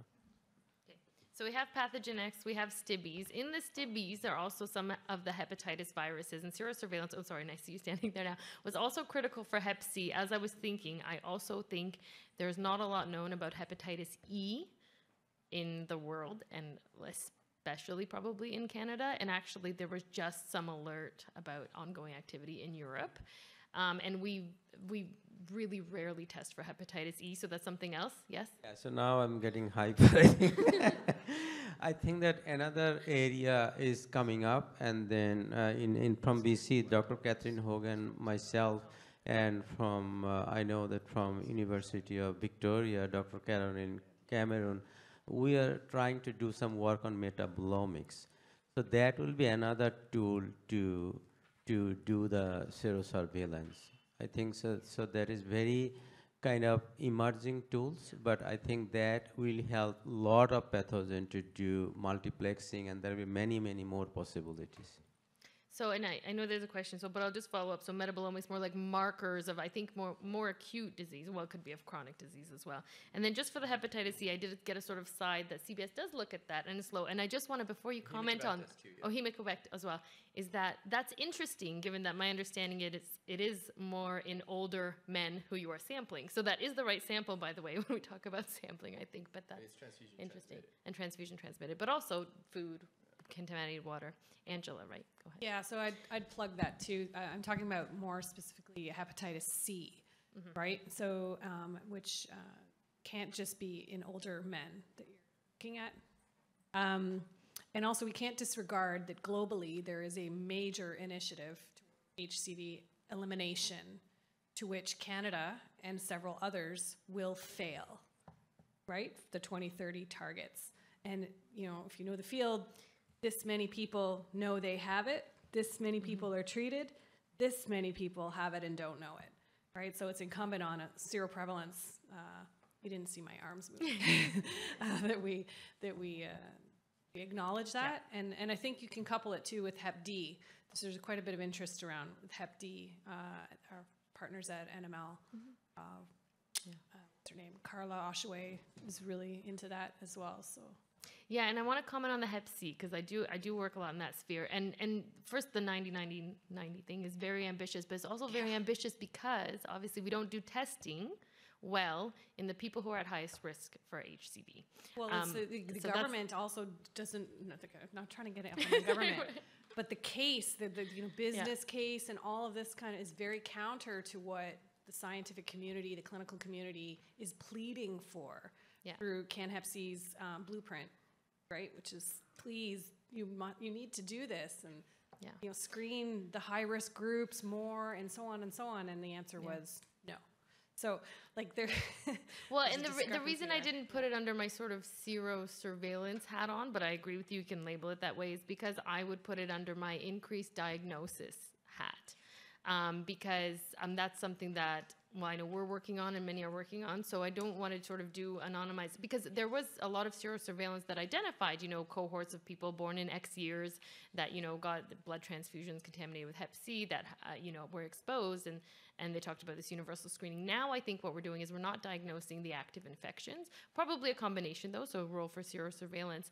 And so um, it's, it's more about increasing testing yeah, okay, I see. And and the 90%, um, I came off a meeting just a few days ago around, you know, um, testing in indigenous populations. If we meet 90 and we're successful, that's absolutely wrong because that means the 10% of people who have not been tested are going to be largely IV drug users, incarcerated, indigenous populations. And so we have hit, you know, that will mean we have hit nearly 100% of diagnoses in those more fortunate than others and probably very close to zero in others. But yes, I just I get jazzed up about this topic as well. And I see your hand up, Varun, and Carmen. Hello, Carmen is on, so I'm guessing she has a question or a comment because she works in this I too. just wanted to comment on the HCV, and I totally agree with you, Agatha, that the the 90% are being tested and the 10% that we are not testing are the people who need to be tested. So we've implemented um, universal prenatal screening for all women in Alberta, and we've had it uh, running since 2019. We've done a lot of analyses on these. Um, and what's really interesting in the universal screening versus the risk based is that you pick up these um, at risk populations like sex workers. So, sex workers are not declaring to their physicians in the risk based screening for probably a lot of social factors. Um, but we pick up people who have houselessness issues, people who um, are in the sex trade, uh, and people who are IVD drug users who are not disclosing. So really that universal screening is needed for those 2030 WHO targets. Um, and one of those things that we're definitely seeing is um, a destigmatization of so if you're screening everyone, you can pick up those small percentage of people that you are absolutely missing on those risk-based screening ones. So I don't see any more questions, and now we're sort of, oh, maybe I see one more question. So I'm happy to keep going for a long time. But um, uh, we did capture some, I'll, I'll, hand it over to you, Noka. We did capture some other communicable diseases. If there's others, shout them out. I want to say we probably won't have time now to capture non-communicable markers, which are also important, but I know nothing about. But first, I'll hand it over to you for a question. I think would be also very useful, again, if the data is available to stratify and really um, emphasize on immunosuppressed individuals. We know that Mm. the death rates were so much higher uh, in immunosuppressed with, with COVID and other infections, uh, as well as the elderly and children. So, so again, how do you represent all these different um, populations in IMANET is going to be important. Okay, with that, we gave you a few use cases, and there's many more that we didn't talk about. So we will take a break for lunch for everyone to think about them and plan their next projects, or just meet people and have a nice lunch. And lunch is an hour. We are back at 1.30. Thank you.